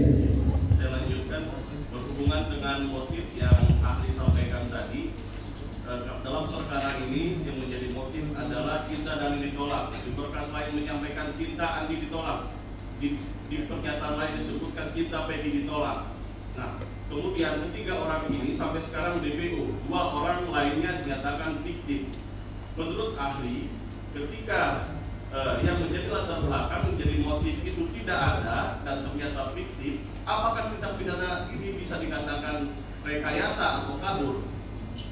Baik Ali jelaskan secara prinsip begini. Tadi Ali sudah sebutkan khusus untuk pembunuhan berencana pasal 340 adalah itu bermotif. Ya. Bermotif itu artinya pelaku memiliki motif. Ya. Nah ini karena dilakukan secara bersama-sama. Menjadi pertanyaan kalau dilakukan secara bersama-sama motifnya kira-kira apa? Kalau itu dilakukan secara pribadi, terang sekali motifnya. Mungkin kalau toh ada penyertaan yang lain, barangkali agak jelas motifnya. Kalau ini di, secara rame-rame begitu banyak itu, apa sama motifnya mereka cinta ditolak misalnya begitu? Apakah sama seperti itu? Emangnya dia harus menerima cintanya sekian banyak orang itu? Jadi kalau itu dibuktikan, menurut Ali agak sulit. Ya. Nah atas dasar itulah Ali berpendapat bahwa Uh, kalau itu sulit untuk ditarik motifnya, seharusnya pasal 340 tidak bisa diterapkan di dalamnya. Karena apa? Saya ulangi lagi, 340 harus ada motif. Ya. Karena berencana itu mesti motif, karena akan diseleksi semuanya itu. Tapi kalau orang lain itu ternyata pelakunya banyak orang, apa motifnya semuanya sama? Kalau tadi ada dua tiga orang motifnya sama, apakah itu semuanya pelakunya juga motifnya sama? Ali berpendapat bahwa itulah yang Ali sampaikan bahwa kalau itu tidak bisa ditemukan motif untuk menyatukan bahwa dia melakukan tidak pidana pembunuhan berencana, ya seharusnya dia tidak bisa dikenakan pasal 340 ya karena motif yang menyatukan itu adalah tidak ada. Demikian keterangan Ali. Dari berhubungan dengan hukum pembuktian ahli. Dalam tingkat penyidikan disebutkan harus memenuhi dua bukti permulaan yang cukup. Sedangkan dalam proses peradilan disebutkan dua bukti permulaan yang cukup ditambah dengan keyakinan hakim. Kita melihat dalam proses penegakan hukum perkara ini eh, minim sekali bukti saintifik. Sekalipun ada, itu hanya berbentuk visum et repertum yang tidak menunjukkan siapa pelakunya. Nah, yang saya tanyakan ke ahli, apakah alat bukti yang minim bisa menaikkan sesu- suatu perkara eh, bisa dinaikkan atau bisa diputus dengan eh, pidana, apalagi ini pidana seumur hidup. Baik, Ali jelaskan begini. Kata-kata bahwa pembuktian minimum ya, itu sebenarnya sudah klausula yang sudah menjadi baku sekarang ini dalam proses penye- penyelidikan. Tadi sudah Ali terangkan, penyidikan juga Ali sudah terangkan itu mendasarkan pada dua alat bukti yang cukup. Yang menjadi pertanyaan dua alat bukti alat bukti apa? Seperti Ali sampaikan, dua alat bukti itu adalah alat bukti yang memiliki eh, alat bukti yang disebutkan di dalam pasal 184 KUHP plus Undang-Undang ITE diperoleh secara syah dilakukan oleh penyidik yang punya kompeten wewenang untuk melakukan penyidikan terhadap perkara ini dan yang terakhir adalah eh, alat bukti tadi memiliki kekuatan pembuktian yang primer. Meskipun dua tapi primer untuk unsur pokok delik yang dituju. Jadi kalau unsur pokok delik yang dituju adalah 340 tadi Ali sudah sampaikan berarti yang pertama alat bukti tadi adalah masalah kondisi korban yang meninggal dunia tadi tentang kondisinya seperti apa fisiknya seperti apa semuanya diterangkan oleh eh, kedokteran forensik ya. Tadi Ali sebenarnya memberi contoh tandingan atau perbandingan seperti Ali sampaikan tadi. Jadi itu yang menentukan siapa kedokteran forensik. Maka kedua kedokteran forensik lah berdasarkan bukti-bukti yang ada, dia akan dapat menyimpulkan ini itu adalah pembunuhan pembunuhan, ini adalah bukan pembunuhan, ini adalah kecelakaan atau yang lainnya. Ini semuanya adalah berbasis pada eh, alat bukti forensik yang di, yang dilakukan oleh kedokteran forensiknya. Atas dasar itulah tadi ahli sampaikan bahwa uh, kalau itu uh, tidak ada dua alat dua alat bukti pokok untuk tindak pidana pokoknya itu unsur pokok delik itu ya semestinya dia belum bisa untuk memastikan bahwa itu adalah uh, tadi tindak pidana pembunuhan. Ya. Ya, mestinya harus diklarifikasi lebih dulu secara objektif tadi ini buktinya apa yang kedua alat bukti tadi kalau saya simpulkan dari apa yang sudah diterangkan tadi dan dokumen yang permohonan PK itu ternyata alat bukti yang memastikan bahwa ini terjadi bukan karena pembunuhan. Kalau misalnya simpulkan itu benar bukan karena pembunuhan, berarti mesti itu terjadi karena faktor-faktor yang lain atau sebab-sebab yang lain yang bukan pembunuhan berencana. Ya. Nah atas dasar itu Ali berpendapat bahwa ya kita balik lagi kepada uh, pembuktian tadi bahwa ini perkara ini apa kuncinya pertama adalah uh, kondisi objektif dari korban korban atau orang yang meninggal. Dari itulah yang bisa disimpulkan eh, itu sebabnya karena apa? Itu adalah hasil visum et repertum. Demikian menurut uh, Ali. Ya, ya selanjutnya saudara. Sebentar, sedikit lagi. Nah terus kenapa hakim kok tiba-tiba menyimpulkan bahwa itu adalah kejahatan pembunuhan berencana? Balik lagi Ali sampaikan, seharusnya hakim berbasis pada fakta hukum, bukan opini hukum dan juga bukan opini publik. Kalau fakta hukumnya mengatakan bahwa itu uh, A, ya katakan itu adalah prosesnya A. Tapi kalau ternyata itu tidak dilakukan oleh hakim, itulah namanya bagian daripada kekhilafan hakim dalam menarik proses alat bukti dalam pembuktian dalam perkara tindak pidana ini. Demikian. Ya, saudara ahli kita mengenal pasal 184 KUHP. Di situ ada dijelaskan disebutkan lima alat bukti. Kami sangat miris melihat eh, fakta yang ada kami melihat hanya satu alat bukti yang ada berupa kesaksian, itu pun dalam bentuk tersangkaan. Ini fakta ketika kami mempelajari berkas. Nah, menurut pendapat ahli di situ dengan minimnya alat bukti itu, apa kira-kira eh, agak bahasa kemungkinan ya yang dipakai penyidik ataupun penegak hukum untuk mencari bukti lain yang bersangkutan dan relevan Kayak tadi bukti visum tidak relevan, bukti ada batu, ada kendaraan yang tidak punya relevansi terhadap pembuktian dalam perkara ini. Baik, Ali jelaskan. Memang tadi Ali juga sudah menyampaikan bahwa prinsip dalam konteks perkara ini yang dimohonkan PK ini adalah urusan pembuktian. Pembuktian terjadi terjadinya akibat mati itu karena apa? Yang satu mengatakan itu dalam putusan pengadilan menyatakan itu karena uh, pembunuhan berencana. Tapi Ali tadi sudah sampaikan bahwa kalau itu pembunuhan berencana semestinya ada bukti-bukti pendukung untuk mengarah ke sana. Tadi misalnya itu pembunuhan lebih dahulu. Mestinya didukung oleh namanya 184 KUHP alat bukti itu. Kalau di backup lagi bisa juga ditambah satu lagi namanya alat bukti uh, apa namanya bukti elektronik ya. Itu dalam undang-undang ITE jadi kalau itu sudah enam atau paling tidak dengan alat bukti yang ada di dalam itu ternyata itu tadi disimpulkan bahwa itu hanya keterangan saksi saja jadi keterangan saksi itu kualitasnya banyak sekali tadi Ali sampaikan.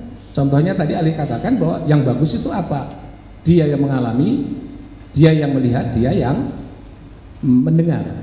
Tapi kalau saksi itu hanya mendengar saja itu bias. Apalagi dia mengatakan mendengar dari omongan orang lain bahwa orang lain ngomong begini. Itu level level yang tiga. Itu nggak ada kekuatan pembuktian sama sekali.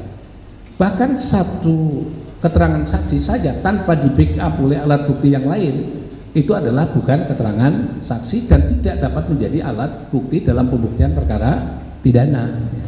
Sehingga dengan demikian eh, Ali sampaikan bahwa kalau misalnya Eh, putusan Mahkamah Agung, oh, putusan pengadilan itu membuktikan bahwa belum ada kecukupan bukti bahwa itu untuk menetapkan unsur-unsur tidak pidana tadi itu tidak ada kecukupan bukti, maka di dalam proses PK inilah yang harus bisa menunjukkan bahwa itu belum ada bukti karena itu simpulan yang dilakukan oleh hakim adalah dalam putusan itu adalah namanya bagian daripada kekhilafan hakim.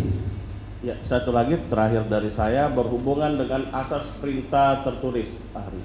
Kita tahu dalam perkara ini terjadi proses penangkapan tanpa ada perintah tertulis dan dalam hal bukan tertangkap tangan. Sekian terakhir dari saya. Terima kasih. Jadi istilah bahasanya sesungguhnya kata perintah itu mesti dihindari ya. Karena sekarang adalah proses pembuktian.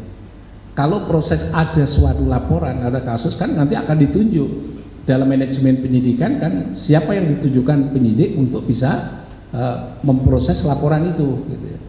Jadi kalau sudah proses laporan itu kan nggak boleh ada perintah-perintah dari yang lain.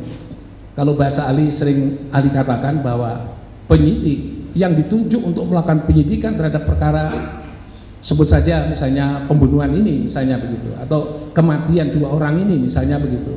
Dia kan harus kalau sudah ditunjuk dia clear bahwa dia hanya demi keadilan berdasarkan Tuhan Yang Maha Esa dia akan melakukan tindakan proses hukum jadi kalau dia melakukan tindakan proses hukum itu sama artinya penyidik yang ditunjuk tadi yang ditugasi untuk memproses ini itu dia adalah menjalankan namanya kekuasaan kehakiman pada level eksekutif.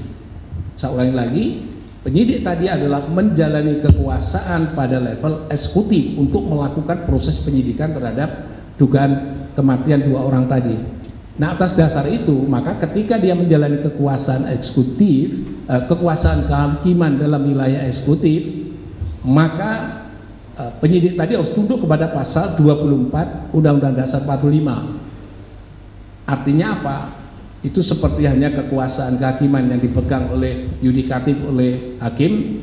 Kalau itu kekuasaan kehakiman dipegang oleh eksekutif, dibebankan kepada penyidik, maka penyidik harus hanya tunduk uh, kepada sumpahnya dan dia tidak boleh ada perintah-perintah. Karena apa? Pemegang kekuasaan kehakiman itu bebas dari kekuasaan mana pun termasuk di antaranya bebas dari kekuasaan atasnya sehingga dia hanya mengabdi kepada demi keadilan berdasarkan ketuhanan yang maha esa menurut Ali demikian sehingga kalau itu dia berbuat karena perintah-perintah dan perintah itu ternyata menyimpangi dari prinsip-prinsip di dalam KUHAP dan juga undang-undang kekuasaan kehakiman ahli berpendapat seorang penyidik wajib menolak perintah itu. Wajib menolak terhadap perintah itu karena apa? Seorang pemegang kekuasaan tidak boleh dipengaruhi eh, istilah bahasanya merdeka dari kekuasaan mana pun. Demikian. Juru bicaranya empat orang ya? Ya, ya. Silahkan Bu ya. Titin Eh, satu dari saya saudara. Ahli. Eh, hasil visum yang dikeluarkan oleh dokter forensik meninggal karena patah tulang tengkorak belakang. BAP pelapor mati karena ditusuk samurai. Jaksa P21 dan dakwaan sesuai BAP pelapor. Putusan sesuai dakwaan jaksa.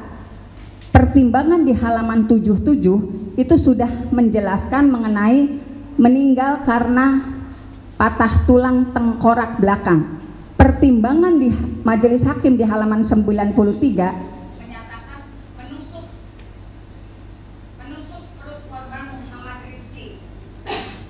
Bagaimana pendapat ahli dengan fakta seperti ini dan semuanya tertuang di dalam putusan nomor 16. Baik, Ali jelaskan itu tadi seperti uh, Ali sampaikan bahwa kalau itu ternyata sebab kematian aja sudah berbeda-beda, seharusnya penyidik dari awal mengklarifikasi lebih dulu, mencari informasi atau melakukan penyidikan yang mendalam mengenai sebabnya itu karena apa.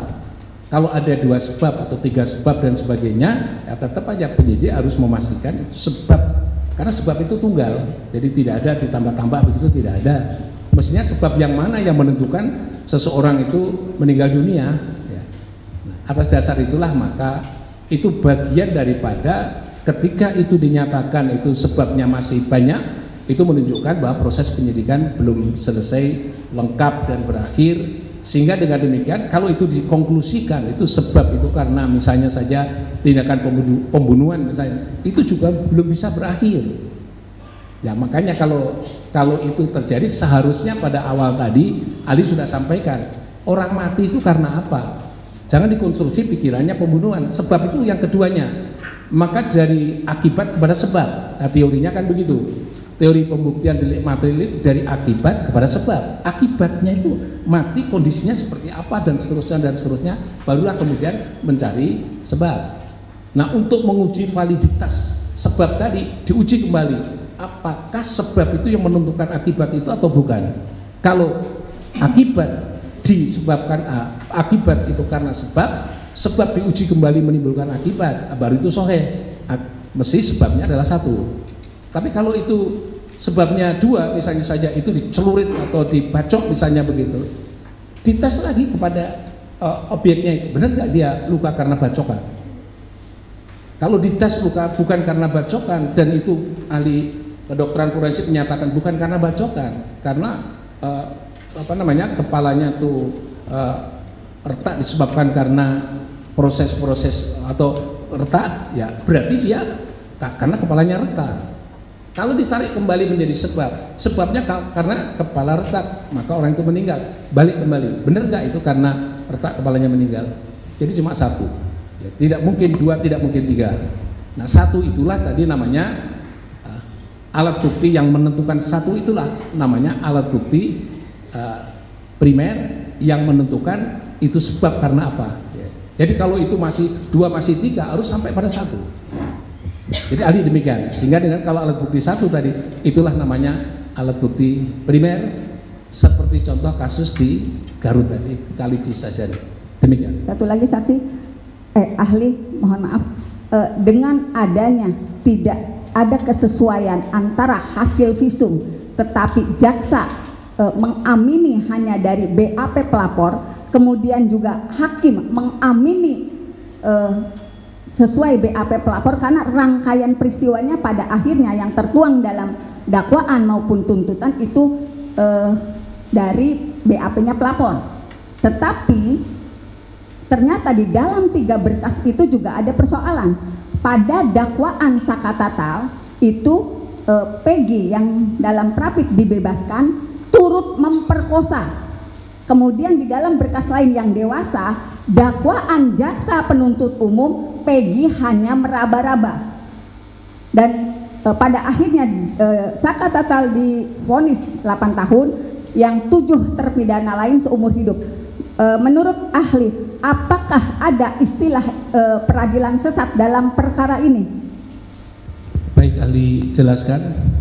Yang terkait masalah uh, tadi pembuktian ya saya kira itu tadi uh, sudah benar bahwa pembuktian itu harus lebih pasti lebih dahulu, ya, lebih pasti lebih dahulu, sehingga tidak menimbulkan prasangka-prasangka atau alternatif-alternatif yang lain kecuali yang satu itu. Kalau yang satu tidak ada, maka muncullah tadi pembuktian berdasarkan praduga-praduga. Tadi Adi sudah terangkan bahwa penyidik dalam hal ini adalah independen, menjalankan kekuasaan kehakiman dalam wilayah eksekutif, maka dia adalah hanya mengacu pada demi keadilan berdasarkan Tuhan Yang Maha Esa, tegaknya demi tegaknya hukum dan keadilan. Nah, namanya adalah kepastian hukum yang adil. Jadi kalau dia adalah tunduk kepada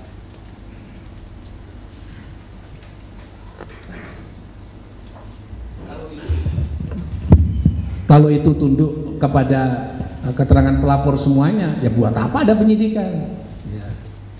Berarti kita bisa menyimpulkan bahwa kalau semuanya tunduk pada pelapor, mungkin mungkin pelapornya itu adalah orang yang berpengaruh, misalnya begitu, ya buat apa ada penyidikan? Gitu.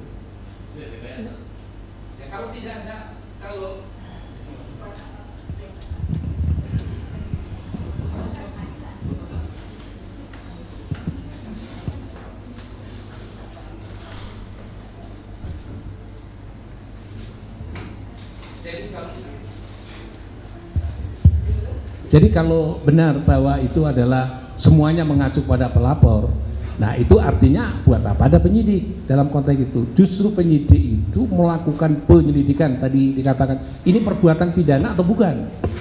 Nah, tadi Ali sampaikan di situ. Jadi diperiksa lebih dulu korbannya seperti apa, ini perbuatan pidana atau bukan? Dan kalau perbuatan pidana kira-kira yang patut disangkan pasal berapa? Pasal apa atau pasal berapa? Jadi jelas gitu. Tapi kalau tiba-tiba prasumsi adalah pelapor mengatakan ini pasal pembunuhan, masuklah dia pembunuhan. Udah salah di situ. Artinya penyidik sudah tidak independen, menjalani kekuasaan kehakiman yang tidak merdeka dari kekuasaan mana pun. Ya. Karena dia kekuasaannya adalah ada pada pelapor. Jadi mestinya adalah kalau pelapor melakukan pembunuhan, diperiksa lebih dulu. Kondisi korban seperti apa, ini semua apa, itulah yang ahli yang menentukan ini perbuatannya itu pembunuhan atau bukan. Ya. Jadi kalau itu dilak, tidak dilakukan, ini pokoknya pembunuhan, maka semuanya yang terkait dengan urusan korban digeser menjadi pembuktian pada perkara pembunuhan. Menurut ahli itu adalah bertentangan dengan proses penyidikan yang harus independen atau merdeka dari kekuasaan mana pun. Atas dasar itulah maka kalau dia tunduk kepada pelapor ditentukan oleh pelapor semuanya pelapor yang menentukan yang tadi sudah saya ngomong buat apa ada penyidikan oleh penyidik? Ya. Kalau itu ternyata penyidik mengikuti semuanya itu bahkan jaksa juga ikut-ikutan mengikuti itu ya buat apa ada jaksa penuntut umum? Itu kan jaksa penuntut pribadi namanya bukan penuntut umum. Kalau penuntut umum mewakili kita semua Republik Indonesia ini nah atas dasar itulah ahli berpendapat hakim pun juga sama. Kalau hakim mengikuti uh, laporan dari uh, pelapor tadi ya sama juga seperti itu jadi tidak ada namanya kekuasaan kehakiman yang merdeka dari kekuasaan mana pun. Nah, menurut ahli itulah yang harus dievaluasi dalam satu konteks uh, perkara ini agar supaya jika itu benar ya, jika itu benar bahwa proses itu harus dievaluasi kembali ya. Di, dari mana? Ahli tadi katakan dari proses pembuktian awal tadi. Dilacak, diruntut, apakah prosedur-prosedur ini sudah ditaati belum? Kalau belum ya harus dipatahkan terlebih dahulu bahwa ini adalah tidak boleh menghukum orang disebabkan karena uh, bukti-bukti yang tidak sohih ya. Tidak tidak sohih dan prosesnya yang tidak sohih melanggar prinsip prosedural uh, apa tadi keadilan prosedural atau fair trial dalam proses hukum ini. Menurut ahli demikian ya. Kesimpulannya apakah peradilan itu uh, sesat atau tidak sesat? Kalau ahli menyimpulkan bahwa peradilan ini tidak mendasarkan pada kebenaran material dalam proses pembuktian perkara. Demikian. Atau dapat dikatakan ini merupakan satu rekayasa penyidikan penuntutan? Ya, sesungguhnya tadi ahli katakan penyidik itu independen, menjalani kekuasaan kehakiman dalam wilayah eksekutif. Dia tidak boleh diintervensi pihak mana pun karena bahasanya Undang-Undang Dasar 45 itu merdeka dari kekuasaan mana pun. Jadi kalau dia mau diintervensi itu salahnya penyidik juga, salahnya jaksa juga, salahnya yang lain juga kalau dia mau diintervensi. Jadi harus merdeka dari kekuasaan mana pun. Ingat, dia hanya mengabdi kepada Tuhan demi keadilan pada Tuhan yang Maha Esa. Demikian. Ya, ini ya, ahli ke pertanyaan terakhir dari teman-teman yang menanyakan di sini. Pada peristiwa 2016 itu ada dua jenis peradilan, peradilan anak dan umum dewasa gitu. Sedangkan sama kita ketahui bahwa masa waktu persidangan mulai penahanan, penangkap penahanan dan perpanjangan penahanan itu ada batas waktunya.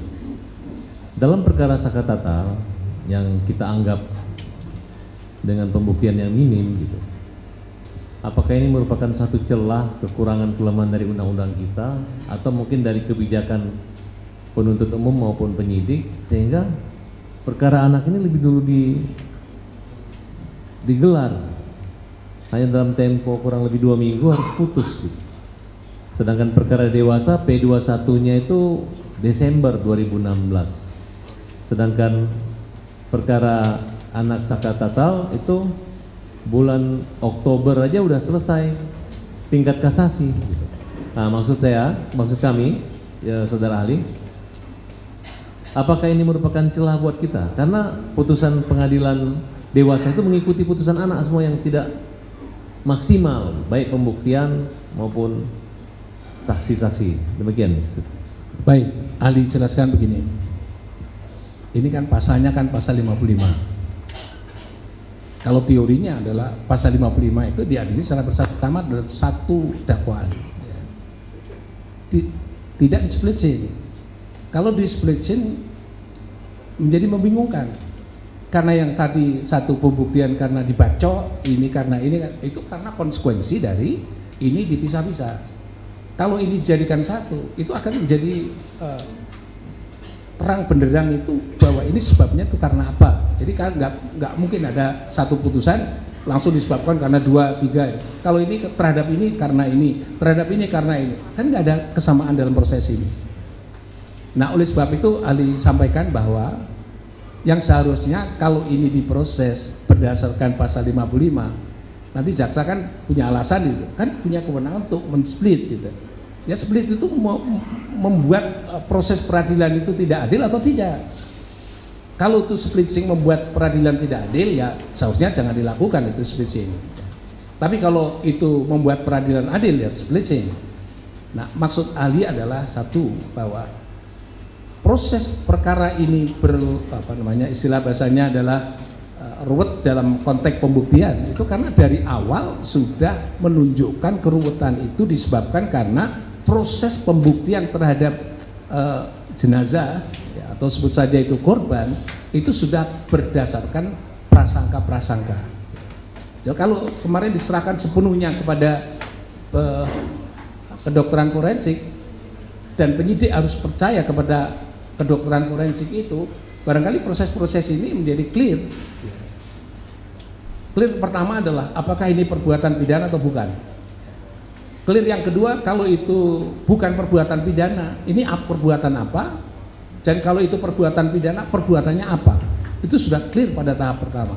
Kalau itu sudah uh, tadi disebutkan hasil-hasil itu ternyata tidak sesuai dengan uh, keadaan yang benar dan tadi kalau itu benar dikutip oleh mahkamah atau pengadilan hakim juga mengutipnya ada dua sebab dan sebagainya itu menunjukkan terjadi keruwetan dalam proses itu menjadi ketidakwajaran dalam proses itu. Jadi kalau ahli berpendapat bahwa ya sebaiknya uh, kita dengan membuka hati yang lapang membuka kembali perkara itu diawali dari proses penilaian terhadap fakta objektif terhadap korban. Apakah dia disebabkan karena perbuatan pidana atau bukan perbuatan pidana dan seterusnya dan seterusnya ya. menurut ahli demikian sehingga dengan demikian kalau ditanya apakah ini momen untuk melakukan perbaikan kalau menurut saya, menurut saya adalah semuanya proses peristiwa itu buat kami adalah harus menjadi uh, perbaikan untuk dilakukan perbaikan. Gitu.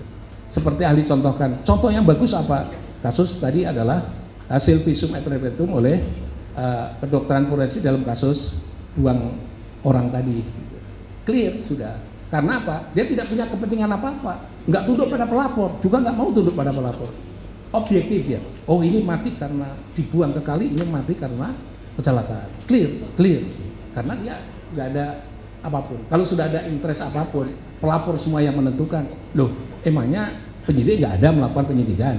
Tadi Ali sudah sampaikan seperti itu. Demikian keterangan Ali kelengkapannya. Terima kasih, saudara ahli. Kebetulan saudara ahli ini dulu adalah dosen S2, S3 kita, yang di mana tidak pernah absen. Terus teman-teman di kampus mengatakan bahwa kok nggak pernah nggak absen tapi manfaat ilmu beliau buat teman-teman mahasiswa. Salam hormat kami semoga kesaksian bapak bermanfaat buat Saka dan kita semua. Terima kasih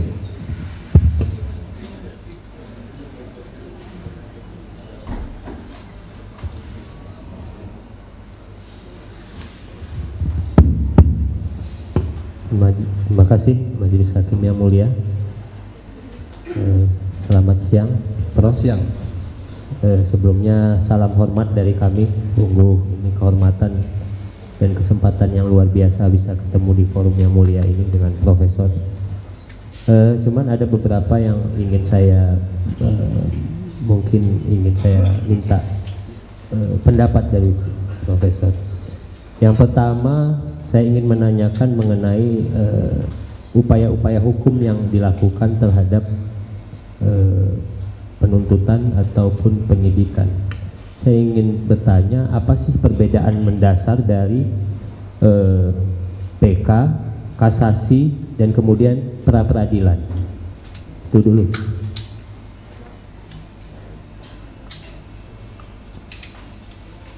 Baik Ali jelaskan kalau PK tadi sudah Ali sampaikan alasan mengapa PK tadi ada tiga alasan ya tadi sudah saya Ali sampaikan, Ali kutip dari pasal 263 uh, KUHAP ya.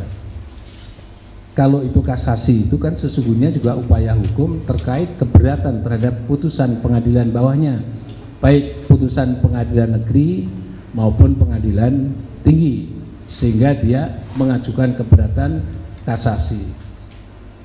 Kalau kasasi itu uh, proses pemeriksaannya hanya terkait dengan masalah yudek yuris karena dia memang uh, kompetensinya adalah yuris-yuris. Tapi kalau dia bisa uh, membuktikan bahwa ada yurik faksi yang itu salah dan fatal di dalam eh, proses penegakan hukum, maka kasasi bisa eh, dibuka terkait dengan yudek faksi yang apabila itu benar-benar dipertimbangkan dan dia telah melahirkan satu putusan yang salah.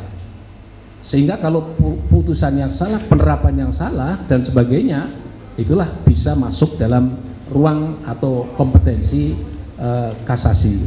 Sedangkan pra peradilan itu adalah uji yang disebut sebagai pengujian terhadap eh, keabsahan proses pengambilan putusan yang berkenaan dengan penggunaan wewenang oleh penyidik. Yang dulu itu hanya menguji terhadap misalnya saja kebutuhan ganti rugi dan lain sebagainya. Yang terakhir spektakuler putusan Mahkamah Konstitusi. Walaupun kami perjuangkan berulang kali di ruang pengadilan ternyata gagal semuanya. Selalu menginduk kepada nggak ada nggak ada namanya adalah pasal undang-undang yang menguji tentang pra peradilan terhadap penetapan tersangka. Dan alhamdulillah akhirnya pra peradilan dengan putusan Mahkamah Konstitusi semua peradilan pra peradilan itu dinyatakan inkonstitusional apabila tidak eh, apabila dia tidak memasukkan bagian di dalamnya adalah pengujian terhadap penetapan tersangka dan sekarang sudah ada namanya penetapan tersangka itu bisa diperiksa di pra peradilan dengan catatan bahwa kalau hakim menolak maka hakim itu telah menyelenggarakan peradilan yang inkonstitusional. Jadi istilah bahasanya sebagai syarat konstitusionalitas lembaga peradilan wajib untuk mau memeriksa perkara penetapan seorang sebagai tersangka. Nah, agak beda dengan putusan kasasi tadi, putusan PK atau pemeriksaan majelis PK itu bisa mencakup semua hal.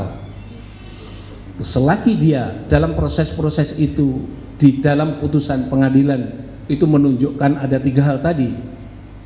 Yang utama adalah terjadi pertentangan antara putusan satu dengan putusan yang lain yang biasanya itu dimuat di dalam eh, putusan pengadilan satu dan putusan pengadilan yang lain dalam mengadili perkara yang sama. Yang tadi ahli sebut kalau ada delik penyertaan atau tidak penerapan tidak pidana penyertaan terhadap peserta satu materinya berbeda dengan peserta dua dan berbeda dengan eh, peserta tiga yang itu saling bertentangan satu dengan yang lain atau tidak ada kesesuaian antara putusan satu dengan yang lain itu juga masuk menjadi ruang eh, peninjauan kembali. Termasuk juga tadi kekhilafan hakim dalam menerapkan hukum dalam mempertimbangkan yang disebut sebagai alat bukti dan barang bukti atau barang alat bukti dalam proses penegakan hukum sehingga melahirkan putusan yang dinilai merugikan kepada kepentingan terpidana. Maka oleh sebab itu itulah namanya PK. Nah, PK lebih komprehensif dibanding dengan kasasi dan dibanding dengan pra peradilan. Demikian keterangan ahli. Baik, terima kasih. Nah, saya ingin melanjutkan, tetapi saya ingin membatasi bahwa ini adalah konteksnya formil dan bukan mengacu pada suatu kasus tertentu. Yang ingin saya tanyakan adalah, apakah kemudian materi-materi yang seharusnya disampaikan pada saat prapit ataupun kasasi seperti tadi Prof sampaikan ada kesalahan penetapan tersangka dan lain-lain, itu bisa juga dibawa sebagai novum dalam pengajuan PK. Demikian. Baik, ahli sampaikan, jika kesalahan itu pada saat proses peradilan itu sudah di- dimasukkan dan dijadikan pertimbangan, dimasukkan dalam proses itu, dan kemudian akan diputus yang berbeda dengan yang sekarang, itu bisa. Jadi parameternya adalah itu kalau dibawa masuk dulu putusannya berbeda dengan sekarang, itu parameternya salah satu di antaranya seperti itu. Jadi kalau itu ternyata memuat eh, kaidah yang menyatakan seperti itu bahwa kalau dulu dipertimbangkan hakim akan mengambil keputusan yang berbeda. Ini sambil contoh aja, misalnya, oh ini sebabnya adalah karena dicelurit. Oh ini sebabnya karena apa namanya organ otaknya itu tertimpa sesuatu atau kena benda-benda tumpul dan seterusnya. Jelas itu berbeda satu dengan yang lain. Jadi kalau dulu itu dipastikan ini karena X misalnya begitu, yang nggak ada celurit nggak ada ini atau karena sesuatu yang ini gitu atau karena celurit memang benar karena ini yang benar itu putusannya akan menjadi berbeda maka menurut ahli itu bisa dibawa masuk ke ruang pemeriksaan eh, perkara peninjauan kembali demikian Nah, masih berkaitan dengan itu, bagaimana dengan materi-materi terapit? Apakah kemudian eh, ketika kesalahan penetapan tersangka atau kesalahan dalam prosedur penyidikan, tetapi ketika itu materi apa keputusan-keputusan yang sudah diambil sebelumnya itu belum teruji apakah salah atau benar, tetapi memang prosedurnya dari awal salah. Apakah itu juga termasuk dalam eh, PK? Jadi maksud saya eh, barang yang dibawa sebagai novum itu belum tentu akan merubah ini, tetapi menunjukkan bahwa prosedurnya salah, gitu. Tapi belum tentu menunjukkan bahwa kasus ini akan menuju ke arah yang berbeda seperti itu sebagaimana Ali sampaikan tadi, fungsi novum itu kalau dipertimbangkan sebelumnya itu putusannya akan jadi berbeda dengan putusan yang kondisi sekarang. Kalau putusan itu berbeda dengan kondisi sekarang, berarti bisa dibawa ke uh, sidang PK, bisa. Jadi istilah bahasanya maka PK itu adalah upaya hukum yang luar biasa. Karena yang salah bukan penyidik, yang salah bukan penuntut tapi yang salah itu hakim yang memutus perkara itu. Walaupun suplainya itu dari penyidik dan penuntut umum, tetapi adalah eh, pengambil keputusan yang terakhir itu adalah pengadilan. Tapi kalau pengadilan ternyata juga salah juga, maka tadi Ali sampaikan salahnya apa? Mutus yang saling bertentangan satu dengan yang lain. Yang kedua adalah kekhilafan hakim tidak mempertimbangkan barang bukti, alat bukti dan semua bukti-bukti tadi.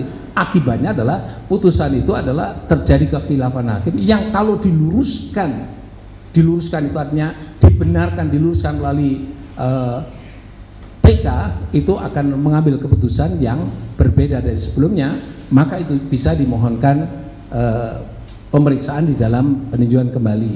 Jadi istilah tadi Ali sudah sampaikan kalau materi PK itu lebih komprehensif karena apa? Semua bisa dimohonkan uji dalam proses uh, majelis PK. Maka istilahnya PK peninjauan kembali adalah upaya hukum yang luar biasa karena putusan yang sudah menjadi kekuatan hukum yang tetap itu ternyata salah di dalam menerapkan hukum. Nah atas dasar itulah maka ada namanya uh, lembaga peninjauan kembali. Mungkin agak sedikit uh, apa kajian ahli yang pada saat itu karena ahli termasuk bagian daripada tim uh, tim untuk uh, verifikasi konsep uh, kuhab ya draft kuhab yang sekarang ada maka kita usulkan lembaga pra peradilan maaf lembaga PK itu kan proses yang luar biasa. Maka sebaiknya diperiksa oleh majelis yang lebih banyak lagi. Ya. Istilah bahasanya karena itu yang dievaluasi lembaga pengadilan, lembaga peradilan yang puncaknya peradilan. Maka sebaiknya yang akan datang itu kalau misalnya harus di PK harus diproses oleh hakim yang lebih banyak lagi untuk bisa diuji tentang uh, kebenaran dan ketidakbenaran dengan alasan sebagaimana 1 2 3 yang aku sebutkan tadi. Tapi itu ide gagasannya. Tapi dari ide gagasan itu ingin menunjuk ahli menunjukkan bahwa kok bisa-bisanya pengadilan negeri tinggi, pengadilan kasasi kok bisa salah juga. Itu kan, kan luar biasa. Maka upaya hukum luar biasanya apa? Udahlah semuanya ditinjau kembali. Nah, itulah menurut ahli pentingnya namanya lembaga PK itu seperti itu. Ya, demikian keterangan ahli. Nah, terima kasih. Kemudian selanjutnya eh, tadi saya mendengar keterangan eh, Profesor bahwa menjelaskan bahwa ada saksi yang memberikan keterangan bohong di bawah tekanan dan kemudian mencabut eh, keterangan tersebut di depan sidang PK. Nah, yang ingin saya tanyakan, kemudian apakah saksi tersebut ketika mencabut keterangannya di depan persidangan PK, apakah dirinya perlu membuktikan bahwa sebelumnya membuktikan bahwa keterangan sebelumnya adalah salah dan berada di bawah tekanan? Dan kemudian kalau memang perlu siapa yang mempunyai kewajiban untuk membuktikan hal tersebut? Ini biasanya kalau dulu ahli oh, menerangkan tentang masalah saksi yang di bawah tekanan dan seterusnya itu mampu untuknya sulit karena pada saat pemeriksaan itu dia diperiksa tidak didampingi oleh penasihat hukum Alasannya apa? Saksi tidak bisa didampingi penasihat hukum. Maka teman-teman penyidik kalau tanya pada saya, apakah sanksi didampingi penasihat hukum? Gak apa-apa, kan juga nggak ikut campur tangan proses pemeriksaan itu. Penasihat hukum itu hanya untuk memeriksa objektivitas pemeriksaan penyidik. Jadi nggak menjadi masalah. Tapi tetap aja, Pak, bagaimana kalau nggak ada nggak ada uh, penasihat hukumnya. Saya katakan bisa diundang oleh orang yang netral. Siapa? Kalau itu di kampung ya RT, RW dan sebagainya dipakai untuk menyaksikan bahwa warga negara yang diperiksa sebagai saksi itu adalah diperlakukan baik dan benar, objektif dan keterangannya adalah tanpa ada tekanan apa pun. Tapi praktek yang terjadi beberapa waktu yang itu sampai sekarang itu menunjukkan tidak boleh didampingi gitu. Sehingga kalau saya ketemu seorang uh, advokat, kenapa liwat-liwat di luar uh, saya saksi saya ada di dalam itu diperiksa? Nggak boleh masuk nggak boleh masuk.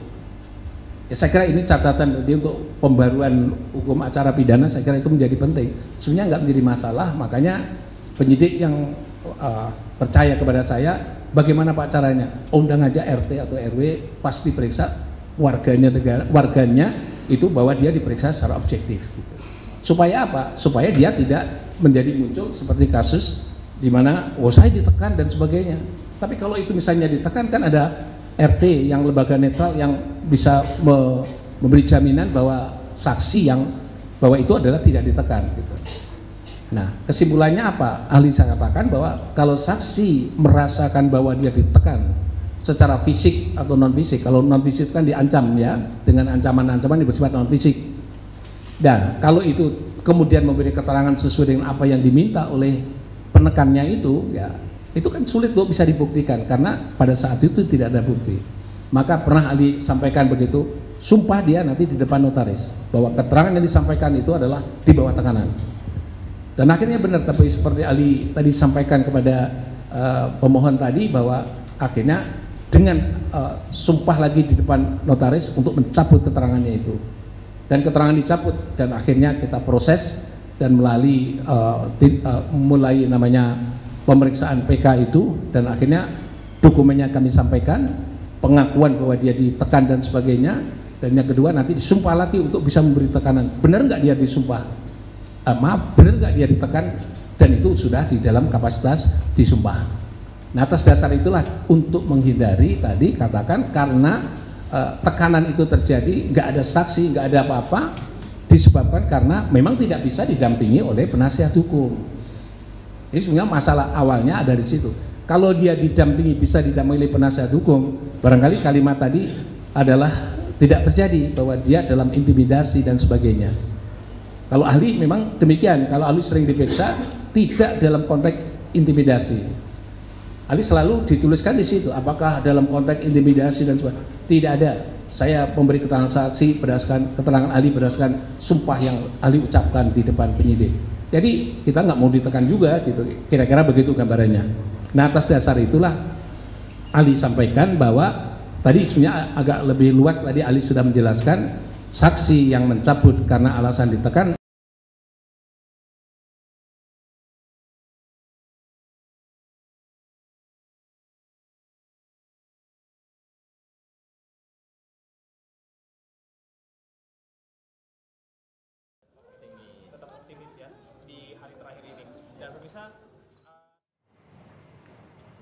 Ya saat ini persidangan peninjauan kembali eh, yang menghadirkan ahli eh, dari Fakultas Hukum Universitas Islam Indonesia dan ini merupakan gambar dari Pengadilan Negeri Cirebon Jawa Barat Saka Tatal mantan terpidana kasus pembunuhan Vina dan Eki pada tahun 2016. Jadi sebelumnya dari pihak eh, jaksa menanyakan uh, juga terkait dengan pandangan ahli atas kasus uh, pembunuhan Vina dan Eki pada tahun 2016 silam tepatnya pada tanggal 27 Agustus.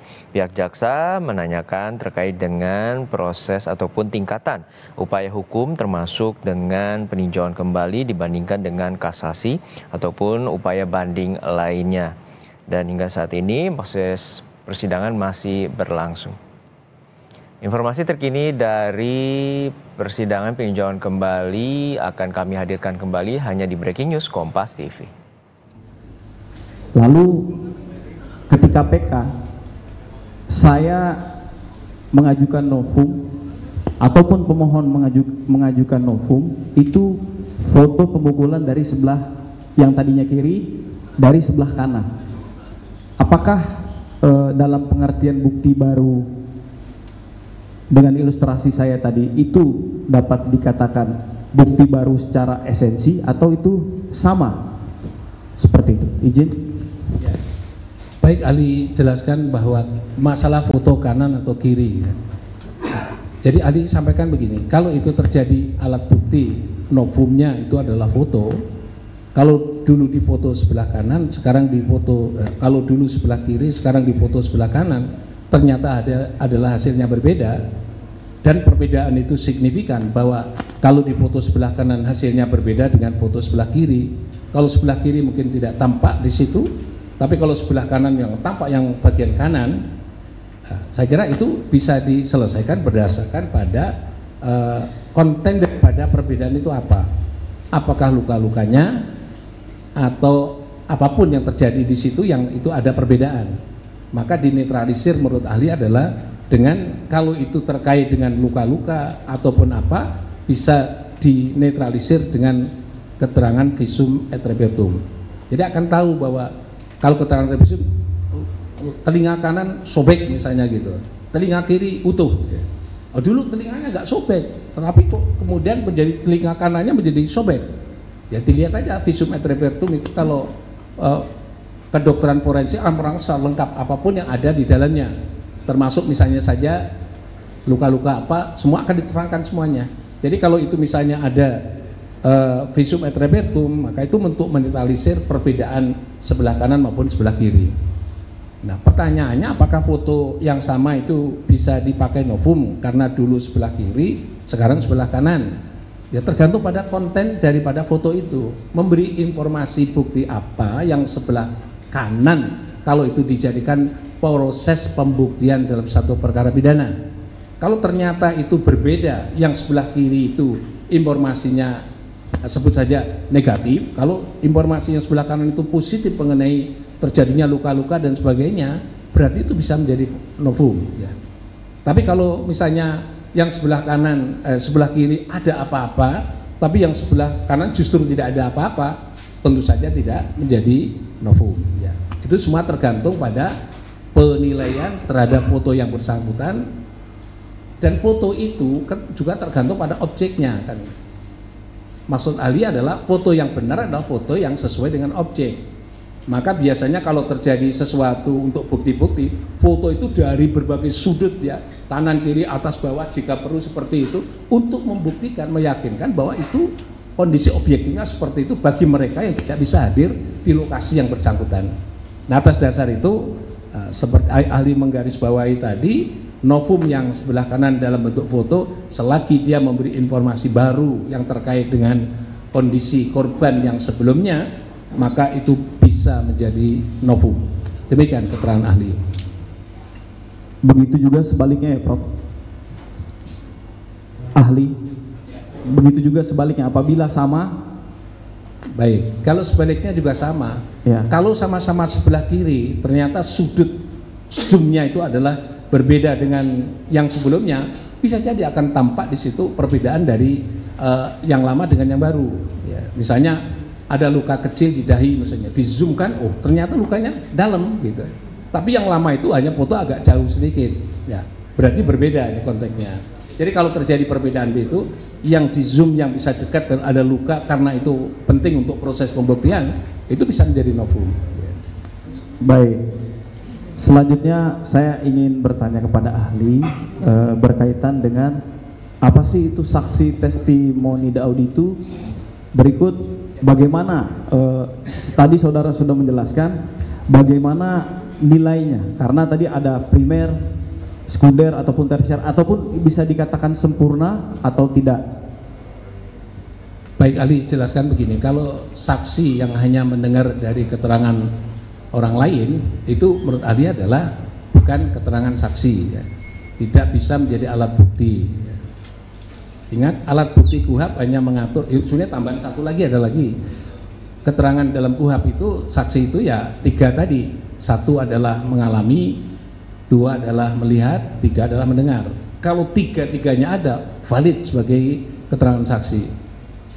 Atau istilah bahasa ahli tadi namanya itu memiliki alat bukti yang memiliki kekuatan yang utama atau primer. Tapi sebaliknya kalau dia hanya melihat saja itu masih sekunder. Tapi kalau mendengar saja itu tersier. Karena apa? Ya dengar mungkin suaranya sama tapi nggak bisa lihat. Dan suara itu bisa ada padanannya dengan yang lain. Itu namanya tersier tapi kalau dia uh, mendengar saja dari uh, mendengar dan itu hasil omongan orang lain bahwa dia mendengar suara itu itu namanya adalah saksi yang diperoleh dari uh, orang lain.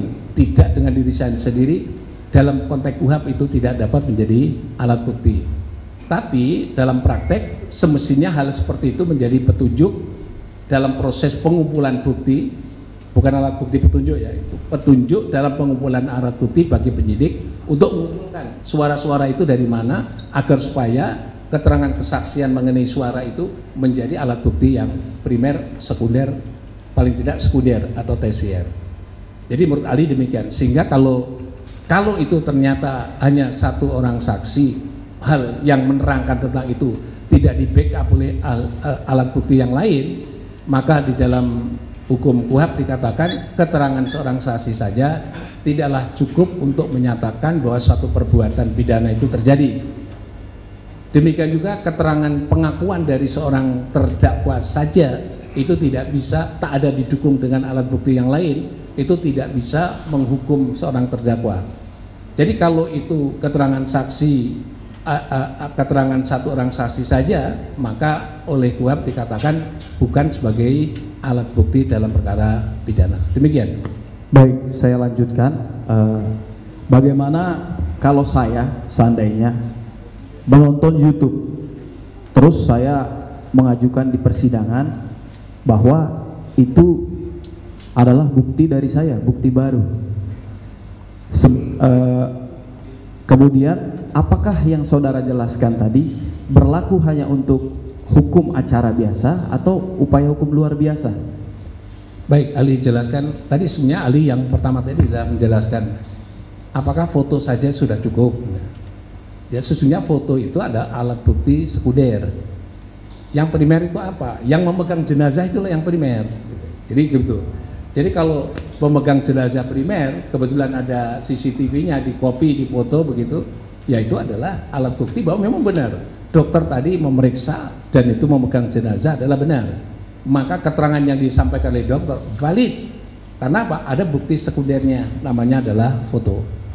Jadi dalam proses PK itu hierarki pembuktian menurut Ali ya seperti itu. Bukan hanya PK, perkara pokok pun juga sama. Kalau Ali menerangkan ya sama seperti itu bahwa harus ada alat bukti yang memiliki kekuatan pembuktian yang primer untuk dua alat bukti terkait dengan tidak pidana dan harus ada dua alat bukti primer yang memiliki kekuatan pembuktian yang primer untuk menyatakan seseorang itu sebagai pelaku tindak pidana. Jadi kalau begitu, kalau hanya orang ngomong bahwa oh, dia yang melakukan, dia melakukan, belum menjadi alat bukti. Ya. Karena hanya satu orang yang ngomong seperti itu. Tapi kalau orang ngomong tetap harus didengar, dengar. Tapi itu sebagai bukti petunjuk bahwa diduga orang itulah yang melakukan tidak pidana, maka dia harus diproses lebih lanjut. Ada dukungan bukti sehingga keterangan tadi ada buktinya dan diubah menjadi uh, alat bukti yang primer. Kalau tidak bisa ya berarti berhenti sampai di situ. Kalau bisa bisa berubah menjadi alat bukti yang primer. Jadi Ali pernah membantu uh, uh, pembuktian seperti itu. Ternyata ada orang mabuk. Orang mabuk itu menerangkan semuanya banyak sekali terkait dengan rahasia atau uh, apa namanya terkait dengan sesuatu hal yang terkait yang dicari oleh penyidik yang bersangkutan. Boleh nggak Pak alat bukti pemabuk itu menjadi alat bukti? Oh tidak bisa alat bukti ngomongan-omongan pemabuk tadi catat itu dan anda harus nyari buktinya ya.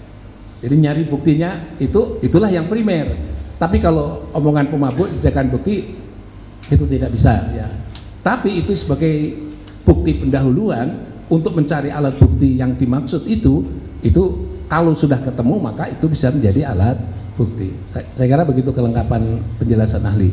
Baik terima kasih ahli. Kemudian saya lanjutkan lagi menyambung rekan saya tadi bahwa tadi ahli juga menjelaskan apabila ada pemaksaan dan lain-lain memang harus dipatahkan ataupun dibalas dengan keterangan dibuktikan dengan sumpah salah satunya dengan di notaris tadi. Nah, eh, saya di sini ingin bertanya ko- konsekuensi apa yang didapat seorang saksi yang dahulunya sudah disumpah berkata A, kemudian suatu hari dia mencabut dia berkata B, karena dia sudah disumpah, tapi dia belum bisa ataupun tidak bisa membuktikan bahwa keterangan yang sebelumnya itu eh, merupakan keterangan yang salah. Padahal dia sudah disumpah, tapi dia sudah menyatakan ini B di waktu yang sekarang, sedangkan waktu disumpah dulu dia mengatakan A. Apa kons- konsekuensinya bagi orang tersebut? Baik, Ali tadi sudah sampaikan ya mengenai hal itu. Kalau dia bisa mengaku bahwa dirinya adalah ditekan oleh eh, aparat penegak hukum ya, oknum lah sebut saja itu penyidik begitu, sehingga dia memberi keterangan sesuai dengan arahan penyidik. Terus kemudian begitu sidang pengadilan sudah berakhir, keberanian mulai muncul, keberanian mulai muncul dan kemudian dia mencabut keterangannya. Kalau dia berani mencabut keterangannya dan disumpah juga berani, saya kira itu hal yang tadi ahli sudah sampaikan, itulah yang harus diberi penghargaan. Dia berani melawan eh, melawan eh, seseorang yang memaksa dirinya sehingga pada saat gilirannya dia harus out dari unsur paksaan itu dan memberi keterangan yang benar dan yang sebenarnya. Izin alih mohon maaf saya potong. Apabila dia tidak bisa membuktikan seperti apa? Apakah ada Jadi Ali ancaman pidana atau Ali seperti tadi- apa? Ali sudah sampaikan bahwa wakil dari sumpah dia nanti di pengadilan berikutnya itulah pembuktian daripada bahwa dia itu dipaksa atau tidak dipaksa. Maka bahasanya adalah sumpah yang kedua itulah yang menentukan kredibilitas dia. Kalau masih yang kedua ternyata memberi keterangan bohong yang terkait dengan A dicabut menjadi B, ternyata dia bohong juga, ya dialah nanti akan mintai pertanggungjawaban uh, pidana karena memberi sumpah palsu, memberi keterangan di bawah sumpah palsu. Tapi kalau dia berani copot dari yang pertama itu demi kesadaran dirinya dan kemudian dia memberi keterangan yang benar di atas yang benar dan kemudian itu dihargai, ternyata keterangan yang dipakai itu adalah koneksi dengan alat-alat bukti yang ada. Kalau menurut ahli tadi sudah sampaikan, itulah orang yang diberi penghargaan. Karena apa? Berani keluar dari kungkungan eh, pemberian keterangan yang menyesatkan hakim dalam proses pengambilan keputusan. Menurut ahli demikian, sehingga alasan apa kalau tidak bisa membuktikan sumpah? Sumpah itu adalah mewakili tanggung jawab dia di hadapan Tuhan bahwa keterangan yang lama itu adalah keterangan yang tidak benar. Demikian menurut ahli. Izin saya melanjutkan. Saya akan beranjak sesuai dengan eh, bab-bab yang sudah ditanyakan oleh penasihat hukum. Saya akan beranjak berkaitan dengan motif. Bahwa kita sebagai sarjana hukum memang memiliki corak-corak ilmu hukum yang berbeda-beda ataupun distorsi-distorsi yang mengarah ke tubuh kita. Sebagaimana tadi ahli atau prof mengatakan bahwa dalam pembunuhan berencana itu harus dibu- eh, dibuktikan motif. Nah, sementara saya pernah menyimak dan banyak di artikel berkaitan waktu itu dalam perkara pembunuhan Jessica Wongso. Seorang prof, Prof Edi mengatakan bahwa untuk eh, menentukan motif itu tidak diperlukan. Yang penting adalah membuktikan anasir delik. Berikut Berikut eh, hal itu didukung dengan eh, pendapat dari Jan Remeling dalam bukunya Hukum Pidana halaman 170 yang menyatakan bahwa menempatkan motif sejauh mungkin dalam delik. Yang terpenting adalah untuk eh, menentukan terbuktinya anasir-anasir delik. Sehingga kemudian saya ilustrasikan dalam sebuah perkara hakim memiliki keyakinan bahwa ini adalah pembunuhan berencana. Bukan terbatas dalam perkara ini, tapi perkara-perkara lain. Ini ilustrasi. Hakim berkeyakinan bahwa berdasarkan semua itu tanpa mem mementingkan motif ataupun ada motif tapi hanya di di dipertimbangkan sebagai yang memberatkan atau meringankan apakah keyakinan hakim tersebut salah karena kita memiliki corak yang berbeda seperti tadi prof berbeda dengan prof lainnya atau seperti apa Baik, ahli jelaskan begini. Dalam hukum pidana itu kan menemukan kebenaran material. Ini jangan keliru bahwa ke kebenaran material itu bukan yang bohir saja, dia melakukan perbuatan saja, tapi dia kan punya niat untuk berbuat jahat kepada orang lain. Yang itu pelaksananya direncanakan secara baik. Kalau itu tanpa motif, itu tidak mungkin orang melakukan pembunuhan berencana. Nah menemukan kebenaran material dari mana kalau itu tidak ada motifnya. Tapi kalau pembunuhan biasa tadi, spontanitas tadi mungkin. Sekarang ini tiba-tiba orang nendang saya, kaki saya patah misalnya, sak tinju, kepalanya pecah. Berarti saya membunuh kan gitu. Tapi spontanitas, saya nggak ada motif karena kaki saya ditendang patah, itulah saya reaksi spontanitas, mukul kepalanya pecah kepala. Saya nggak bisa ada motif, tidak ada motif saya ya mukul dia. Tidak ada membunuhnya mungkin pada bunuhnya spontanitas tadi. Tapi kalau itu pembunuhan berencana itu di antara satu pengadilan ini kalau nggak ada yang dicari orangnya itu nggak akan membunuh orang itu. Itu namanya motif. Menyeleksi seluruhnya tak akan ada orang yang dibunuh di ruangan itu atau di seluruh pengadilan ini. Karena motifnya tidak ada yang relevan untuk dimatikan tapi kalau dia di satu RT misalnya, tapi ada dipilih satu orang karena dia memiliki motif, maka barulah kemudian melakukan pembunuhan berencana. Itulah keterangan ahli juga dalam kasus Jessica juga sama seperti itu. Kalau ingin mencari kebenaran materi, carilah motifnya. Mencari korelasi lahir batin apa dia melakukan itu.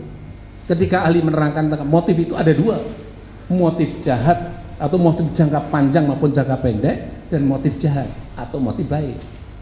Ahli juga dikritik oleh ahli yang lain. Dia katakan oh, apa ada pemujahir motifnya baik untuk melakukan dalam motif itu ada motif baik. Tapi cara melakukan mencapai motif baik itulah cara yang jahat. Jadi motif baik ada. Akhirnya saya tulis di dalam papan tulis saya motif itu ada ini supaya kami menggiring opini bahwa atau pendapat bahwa untuk menemukan kebenaran materi dalam pembunuhan berencana itu harus ada motif. Kalau tidak ada motif, nggak mungkin berencana. Spontanitas, seperti Ali tadi sampaikan seperti itu. Itu namanya motif. Sehingga orang satu kampung yang dibeli cuma satu yang dibunuh. Karena apa? Karena saya punya motif dengan dia itulah untuk tujuan saya tercapai atau motif saya bisa tercapai. Nah itulah yang tadi kalau tiba-tiba uh, proses itu ternyata motif tidak perlu dibuktikan. Bagaimana hakim bisa menemukan kebenaran bahwa pertama dia pembunuhnya, yang kedua adalah dia tidak memiliki motif untuk membunuh dia. Bagaimana dia? Atau tidak bisa dibuktikan motif dia, tapi pembunuhannya berencana. Itulah menurut ahli uh, tidak bisa diterima karena ahli akan menyampaikan. Kebetulan ahli dulu adalah belajar tentang psikologi hukum sehingga kalau itu proses namanya namanya adalah pembunuhan berencana, berarti dia tadi ahli sampaikan antara niat dengan tubuhnya uh, antara niat dengan pelaksanaan itu ada jeda waktu berpikir untuk mempertimbangkan melaksanakan atau membatalkan niat jahatnya. Mengapa dia memilih orang itu? Nah, tumbuhnya niat dengan pelaksanaan itu bagian pada skenario kehidupan mereka gitu. Jadi orang bisa membunuh keluarganya karena apa? Warisan motifnya.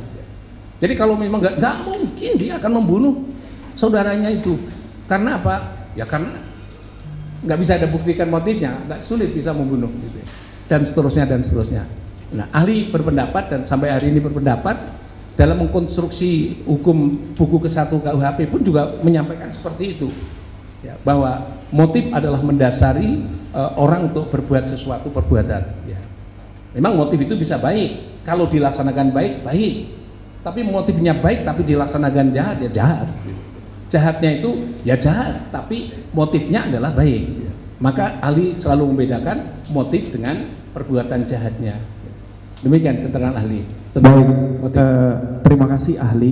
Eh, kemudian tadi di pertanyaan saya bahwa terkait motif itu bukannya tidak ada, tapi ada dipertimbangkan sebagai hal yang memberatkan dan yang meringankan. Sedangkan tadi di pasal 340 semua itu sudah unsur-unsurnya sudah terbukti, mulai dari eh, setiap orang atau barang siapa, kemudian dengan rencana terlebih dahulu. Karena begini, Eh, mengingat kasus ini atau ilustrasi yang lainnya, si A eh, diajak berkumpul di rumah di rumah A ataupun di SMS. Mereka di situ telah bertemu dan terjadi permufakatan. Bahwa disampaikan kita akan menyerang eh, sebuah sebuah kelompok kelompok X. Kita akan menyerang. Di situ dalam eh, anasir-anasir kami dan sampai akhirnya voltoid sampai unsur itu terbukti itu semua dilakukan. Padahal berdasarkan gradasi-gradasi itu waktu pertemuan sudah dibagi nanti kamu yang melakukan pemukulan untuk melumpuhkan nanti kamu yang menusukkan dan itu itu terjadi pertemuan permufakatan meeting of mind-nya udah ketemu nah di sana seperti yang saudara bilang tadi si A ini sudah memiliki waktu untuk berpikir bahwa waktu berpikirnya ini sebaiknya saya gunakan atau tidak karena akan terjadi akibat. Nah, kalau ceritanya ataupun ilustrasi seperti itu menyambung dari yang saudara jelaskan tadi seperti apa? Jadi ahli tadi kan masalah pembunuhan berencana itu niatnya membunuh. Jadi kalau niatnya tidak membunuh, nanti bisa risiko kematian dan sebagainya. Itu bukan niat membunuh namanya. Jadi berbeda. Kalau ahli menjelaskannya niat membunuh itu memang membunuh secara berencana. Tapi kalau tiba-tiba, oh itu nanti bisa menimbulkan akibat kematian, itu berarti bukan uh, melakukan niat pembunuhan berencana. Satu. Yang kedua, yang tadi kalau disebutkan seperti itu, kalau itu kasus yang terkait dengan PK ini, tadi sudah diterangkan juga, ternyata hakim menyimpulkannya ada dua sebabnya dicelurit sebabnya adalah kepalanya retak bagaimana dia katakan kepala retak itu apa konteksnya apa dan seterusnya yang satunya adalah dicelurit itu sudah nggak nggak sama. Dalam konteks itu nggak sama. Celurit dengan itu kan berbeda. Yang celurit itu siapa yang buat retak kepala itu siapa? Jadi nggak jelas ya. jadi kalau itu benar terkait masalah perkara ini bukti yang menunjukkan dalam putusan pengadilan itu untuk kasus yang lain dalam perkara yang di splitsing itu yang satu mengatakan dicelurit yang satu mengatakan retak itu dua hal pembukti yang uh, berbeda. Nah oleh sebab itu kalau dia mengatakan bahwa itu adalah motif pembunuhan berencana agak sulit untuk bisa diterima karena apa ya karena perbuatannya tadi bisa kemungkinan terjadi akibat kematian bisa juga tidak kalau namanya mot, uh, ma, namanya perbuatan rencana pembunuhan, pembunuhan berencana itu pasti tujuannya satu, matikan orang. Demikian keterangan ahli. Uh, terima kasih atas penjelasan ahli. Selanjutnya dari sana saya akan bertanya berkaitan dengan DPO. Bahwa di tahun 2016 terbitlah ada atas nama 4 DPO. Ini ilustrasi cerita. Ada 4 DPO. Kemudian DPO itu belum ditangkap sampai putus sebuah perkara dan menjadi pertimbangan maupun putusan hakim. Selanjutnya setelah semua telah selesai, seorang polisi mengatakan tanpa adanya surat ataupun hal-hal yang bisa mengalahkan putusan maupun pengeluaran DPO tersebut. Dia mengatakan bahwa di media massa dia mengatakan bahwa DPO DPO tersebut sudah kami cabut, tapi pencabutan ataupun surat-suratnya tidak ada. Apakah hal tersebut benar atau salah menurut keilmuan saudara? Jadi pertanggungjawaban penyidik itu dan juga jaksa penuntut umum itu kepada publik. ya.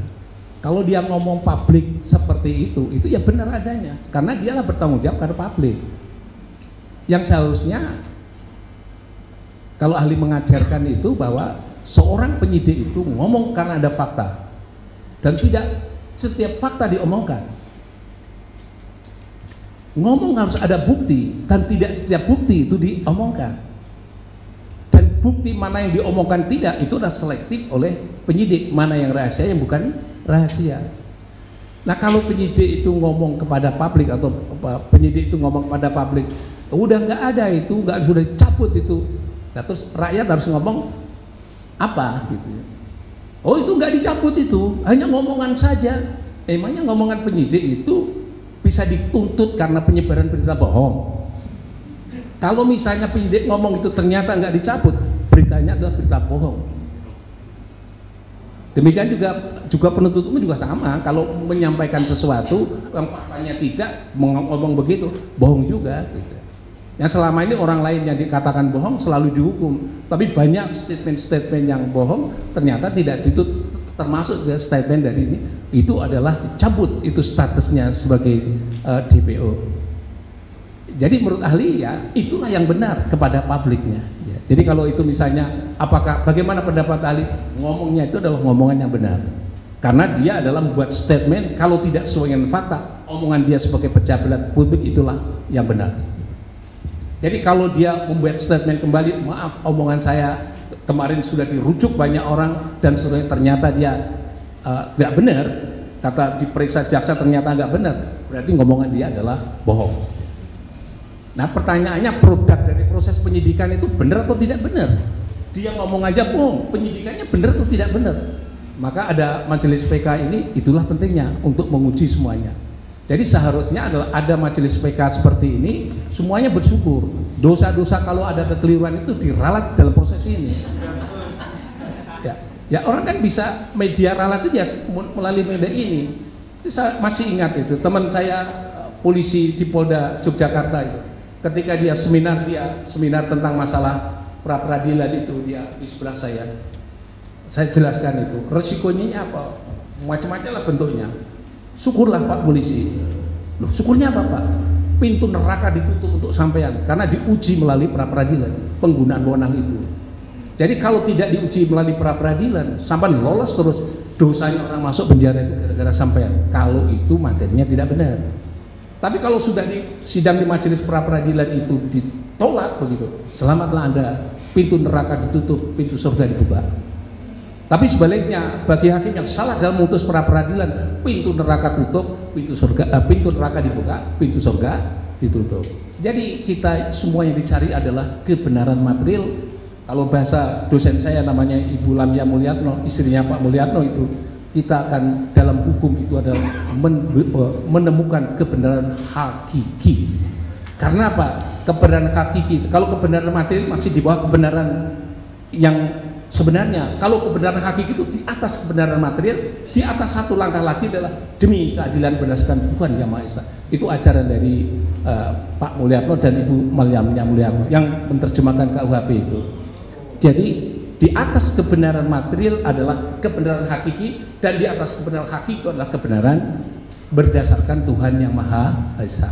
Di atas dasar itu ahli berpendapat bahwa ya eh, terkait dengan proses-proses hukum seperti ini diuji ya kita objektif saja dan ahli juga menjelaskannya secara objektif berdasarkan ilmu pengetahuan ahli terkait dengan masalah masalah proses eh, pemeriksaan dalam perkara PK. Demikian. Terima kasih. Terima kasih Ali, Eh, sangat menarik.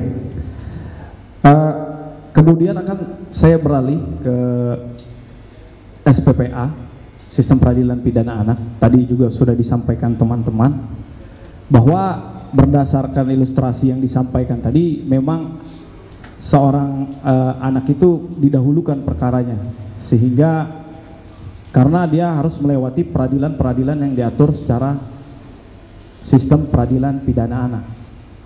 Dan memang ada pasal-pasal khusus yang diterapkan ataupun didakwakan kepada seorang anak.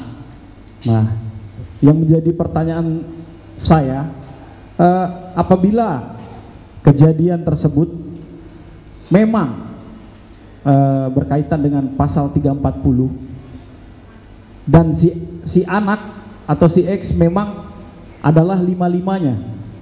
Apakah pasal kejadian itu harus dirubah? Ataupun mengikuti pasal yang dimaksud? Ataupun seperti ini sudah dimasukkan di dalam eh, di dalam sebuah dakwaan karena sifatnya alternatif ataupun eh, subsidiaritas tetapi yang terbukti adalah tetap 340 apakah hal tersebut menurut ahli sudah benar atau seperti apa Baik, ahli jelaskan begini. Ahli sebenarnya melihatnya dari proses peradilannya itu. Jadi yang diajukan itu anak atau yang diajukan dewasa dulu. Ya. Sa, sa, saya ingin jelaskan begini. Kalau diajukan anak dulu, itu pelaku utamanya adalah anak. Kalau diajukan orang dewasa, pelaku utamanya orang dewasa. Anak sulit untuk memiliki motif 340 itu sulit. Mudah-mudahan ini didengar semuanya. Sulit anak itu motifnya apa itu kan sulit. Orang anak itu biasanya berkelahi itu pada umumnya seperti itu. Izin ahli boleh saya potong? di situ. Mohon maaf, boleh saya potong? Saya, saya pertanyaan saya adalah bahwa dikarenakan sistem peradilan pidana anak ini, tadi ahli mengatakan bahwa kebenaran material didahului daripada kebenaran formil. Nah, karena pada faktanya itu memang terjadi 340 dalam ilustrasi kasus punya saya. Tetapi karena memang SPPA, sistem peradilan pidana anak ini mengharuskan bahwa peradilan itu didahulukan ataupun cepat masanya karena sudah diatur berbeda dengan kuap makanya namanya lek spesialis seperti yang disampaikan Prof tadi. Didahulukanlah perkara ini dengan kebenaran material memang 340 nah apakah peradilan itu menurut Prof benar apa salah atau seperti apa? Tadi ahli sudah sampaikan. Walaupun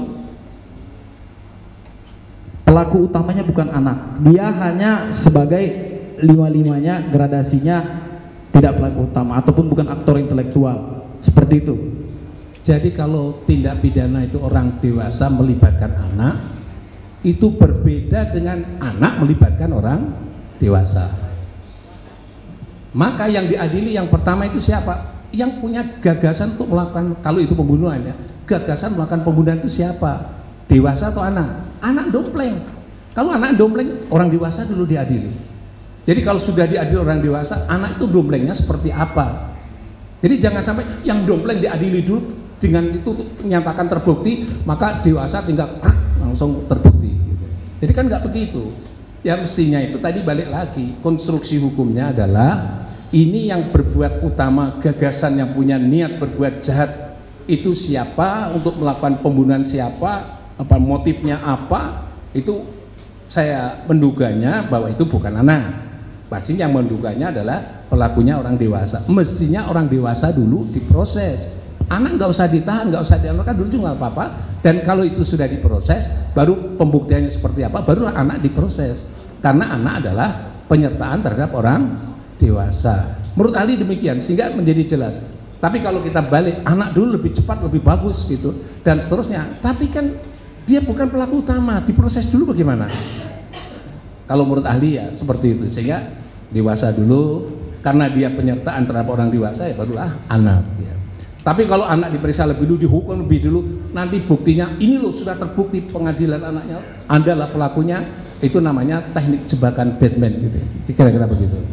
Sekalipun undang-undang SPPA menyatakan itu Pak. Karena mengamanatkan peradilan anak harus didahulukan. Didahulukan itu kalau dia pelaku utamanya. Tapi di dalam undang-undang tersebut tidak ada Bagaimana menyatakan hal tersebut Ya, makanya saya kasih tahu bahwa di situ supaya clear maksudnya itu mungkin satu-satu bertanya Mas biar konsentrasi saya melihat siap. Eh, Anda melihat saya Iya, Pak. melihat itu. Jadi kalau itu konsentrasinya adalah pelaku utamanya itu adalah anak, anak dahulukan. Tapi kalau pelaku uta- utamanya orang dewasa, orang didahulukan.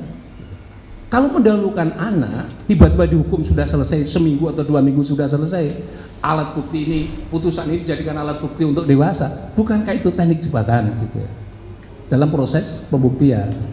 Nah itulah yang harus dihindari, mestinya objektif dong proses pembuktian terhadap orang dewasa dulu. Setelah itu selesai, oh ini melibatkan ABCD, ABC anak, barulah kemudian anak muncul di situ. Gitu. Artinya pembunuhannya ada dulu dan dia adalah pelaku peserta, gitu. bukan pelaku utama. Jadi asasnya itu seperti itu. Tapi kenapa didahulukan? Kalau ada banyak kejahatan, oh, itu diproses lebih cepat. Iya, anak memang harus lebih cepat. Tapi kalau itu bersama orang dewasa, utamanya orang dewasa, anak itu komplementer. Jadi barulah kemudian kalau dia terbukti barulah kemudian anak. Demikian pendapat ahli. Terima kasih, menurut saya sudah cukup jelas. Yang mulia, ada tambahan? Cukup yang mulia. Ya.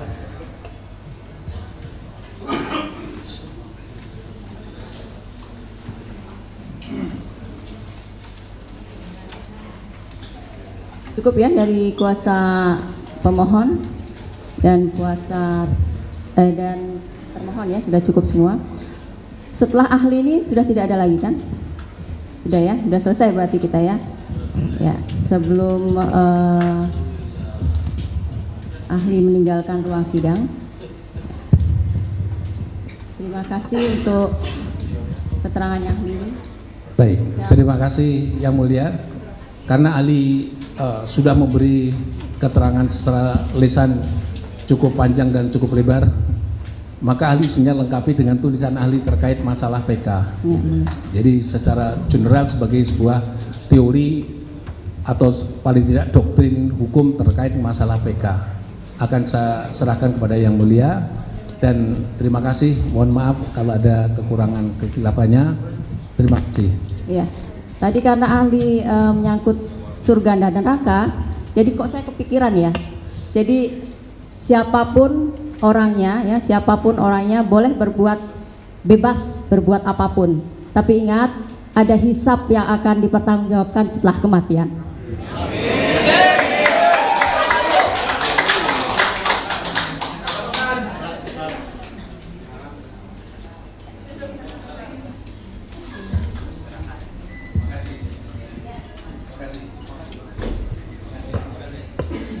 Terima kasih Pak Dr. Muzakir, ahli yang kami muliakan.